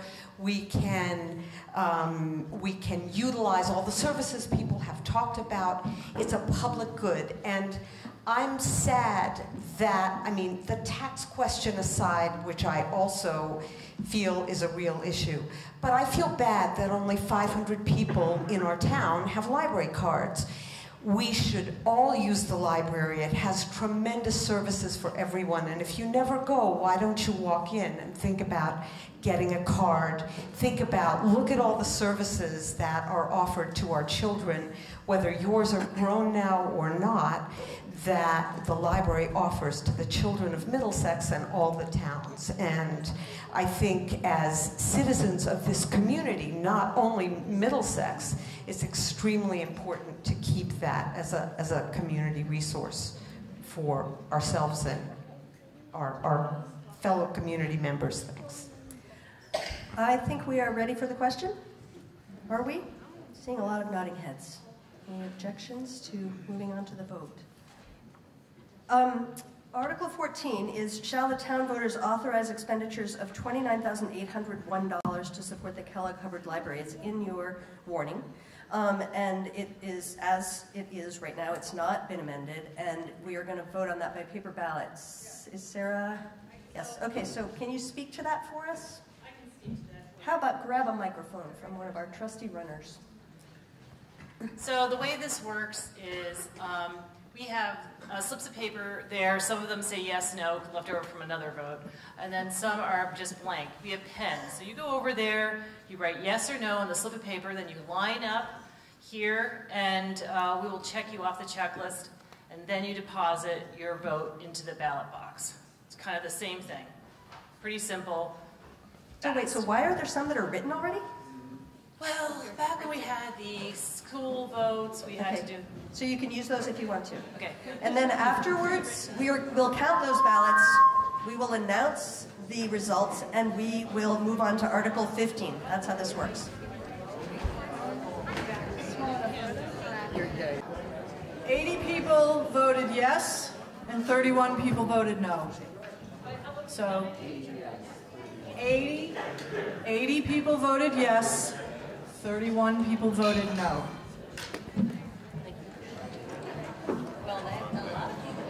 So Article 14, the ayes have it 80 to 31. Okay. Do we have microphone runners? Yes, we do still. That's great. Awesome. Thank you. Okay, folks. Grab some dinner if you like some. And we will get back to business. Thanks, Mary. Article 15. Shall the town vote to raise, appropriate, and expend the sum of $7,000 for the support of the Montpelier Senior Activity Center to provide services to residents of the town? Is there a motion on Article 15? Sarah Sussman, sorry, Susan Sussman is moves and Julie Moore seconds. Article 15 has been moved and seconded, $7,000 for the Montpelier Senior Activity Center. Is there discussion? Yes. A microphone right back here, please. Sarah, Susan Sussman. Come on up to the front if you want. No. No, okay. This is okay. Uh, Linda Fenton.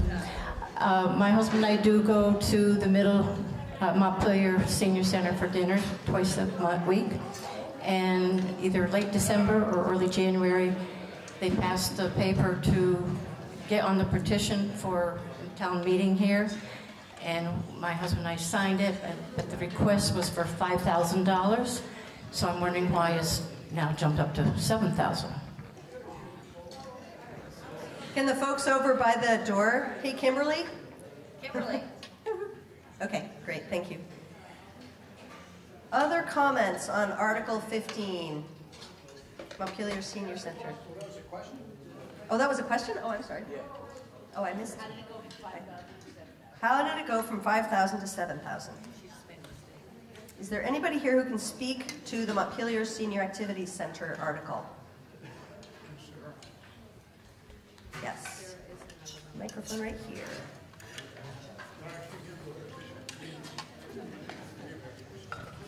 Hugo Liebman, Garand Hill Road. Sarah? All I can, Go ahead. I notice on page 72, which is the report of the Senior Activity Center, they acknowledge that they are increasing their funding request. It appears from the reading of the report that they had an increase in number of participants from Middlesex. That's how I read their report. But like I'm in and out of the library every week, I'm in and out of the Senior Activity Center many times a week for Pilates, yoga, ukulele group, writing groups. And actually, this is a great facility for people who have limited income because their fees are very nominal and the quality of their programs is excellent. Uh, There's also some free meals or low-cost meals. It's a very well-run facility, and I think it's a great bargain and a great asset that Middlesex folks can have use of their craft programs, reading programs, writing programs, exercise programs. They have a very varied list of opportunities for for folks. Thank you. Peter, did you have a comment? So to the person who had the question about the five versus the seven thousand dollars, the petition that the town received was for seven thousand, so I don't know. Yeah, I think Hugo just pointed out that their, that their report says that their usage has gone up and therefore the number went up this year. So last year was 5,000, this year was 7,000. Other discussion on Article 15? Looks like you're ready for the question. Uh, Shall the town vote to raise, appropriate, and expend the sum of $7,000 for the support of Montpelier Senior Activity Center? All those in favor say aye. Aye. Opposed, no. The ayes have it, and Article 15 is passed. Super fun watching you guys vote with your mouth full. I really enjoy this. Susan? Yes. Who seconded that motion? I almost got every word, I just Yeah, missed that. very good. Julie Moore. Good remembering. Article 16, shall the town voters authorize expenditures of $10,000 to support the Waterbury Senior Center's Meals on Wheels program? Is there a motion on Article 16? Say it nice and loud. Eric Benedict. Thank you. Eric Benedict moves. Is there a second? Lisa Carlson. Article 16, $10,000 to Waterbury Senior Center's Meals on Wheels program has been moved and seconded. Any discussion on Article 16? We're feeling pretty done talking, I think. You ready for the question? Shall the town voters authorize expenditures of $10,000 to support Waterbury Senior Center's Meals on Wheels? All those in favor say aye. Aye. Opposed, no. The ayes have it, and Article 16 passes. Article 17, to see if the town of Middlesex will appropriate a sum not to exceed $4,368 to, to support a list of 20 organizations listed in your warning. And unless there's an objection, I will not read all of them, but take a look. Is there a motion on Article 17? Lisa Carlson moves. Kyle Landis Marinello seconds. Article 17, to see if the town of Middlesex will appropriate a sum not to exceed $4,368 to support these 20 organizations. Any discussion? Okay. It's moved and seconded. Where were we? Moved, seconded, discussion. Okay. Is there discussion? That's where we're at. Yes. So I just wanted to address the comment that someone made earlier regarding, you know, the small amounts that people are asking for. And um, I just wanted to um, shed a little bit of light as someone who works for a nonprofit. Um, when someone asks for $250, it's, it, it, it's actually sort of a token um, request um, that one helps them um, gain um, exposure, but also, more importantly, um, it shows support from towns. So when they ask for bigger monies through larger grants, they can show that they have support um, from you know a wide variety of people. So um, I think it's important that we, as a town, you know, show that we care about these these small these small amounts that are being asked um, because it it um, offers the opportunity for leveraging much greater dollars um, to keep these organizations going. Other discussion? Yes. Um, I just have a question about Big Heavy World. Can you, can you bring them up? I just have a question about Big Heavy World. Um, they are um, a blog and a website, as far as I know. I don't know that they do any um, nonprofit work. It's on page 76. Looks like Bennett. Can you bring the microphone back there? They have it right up. Yes, on, they're right up. Big Heavy World is on page 76. So they, I can speak to Big Heavy World just because I'm familiar with the, the organization. Um, they do uh, support for the arts, um, specifically support for musicians. They've done everything from, they have a museum space that documents from Vermont's contributions to the, to the, to the music world. Um, it's in Burlington, uh, um, in, it's almost South Burlington. Um, the, uh, but they, they do stuff like they let bands use uh, their vehicle to, to do shows up and down the East Coast when bands need a vehicle to, to tour. Um, they, they lend out instruments um, when, when, when bands have had things stolen or, or, or have things break, that kind of thing. So uh, um, they, they do a lot of, um, they also are, are kind of heavily involved in trying to help bands with promotional work and uh, to, to, to get their, to get their, their, their music out there. So that's what they do. Any other discussion on Article 17? Thank you. All right, are you ready for the question? See if the town of Middlesex will appropriate a sum not to exceed $4,368 to support these 20 organizations. All those in favor say aye. Aye. Opposed, no. The ayes have it. Article 17 is passed. Article 18 is to transact any other business that may legally come before the meeting. Does anybody have any other business they would like to raise? If you bought dinner, there's lots of desserts out right here, at this back table, Nice. so. Good. Thank That's, you. that's what, that's what kind of other business I'm talking about. Yes, Mary.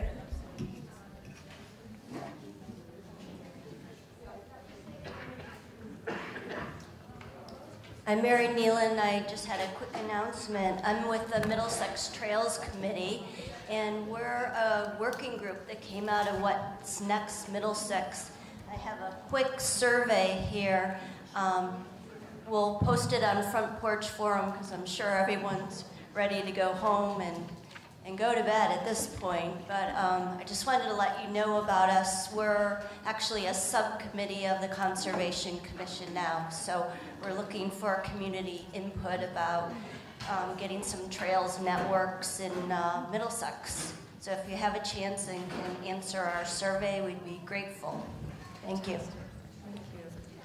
The What's Next Middlesex committees, all four of them continue to meet, and um, I know that the events committee is doing a mud season um, uh, event, a series of events, and there are flyers about that as well. Kimberly Jessup is here. She is our representative, and she's under the impression that you might not be that interested in having her hold forth. but she is prepared to do so if people have questions for her, or you can catch her afterwards. Kim Jessup. Kimberly is here. She can wave. Thank you for coming, Kimberly.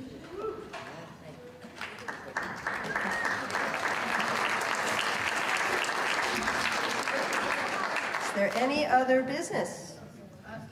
Yes. Just as a reminder, thank you um, for supporting the Middlesex Food Shelf. And if you want to volunteer, the sign up sheet is back there. And I know my son and Eva Jessup would love to have more volunteers. And it's really easy, and you get to meet other people in the central Vermont community um, who are in need of food. Thanks. And thanks for bringing um, the canned goods that people brought today. If you um, have any comments about town meeting that you'd like to leave on the evaluation form, you can put them in here. Otherwise, we'd still like to get them back blank because we can use them next year. Um, thank you to our microphone runners, the ones who are left. Thanks very much. You guys are awesome. Yay. Wonderful to have young people at our meeting. So, meeting adjourned. Thank you so much.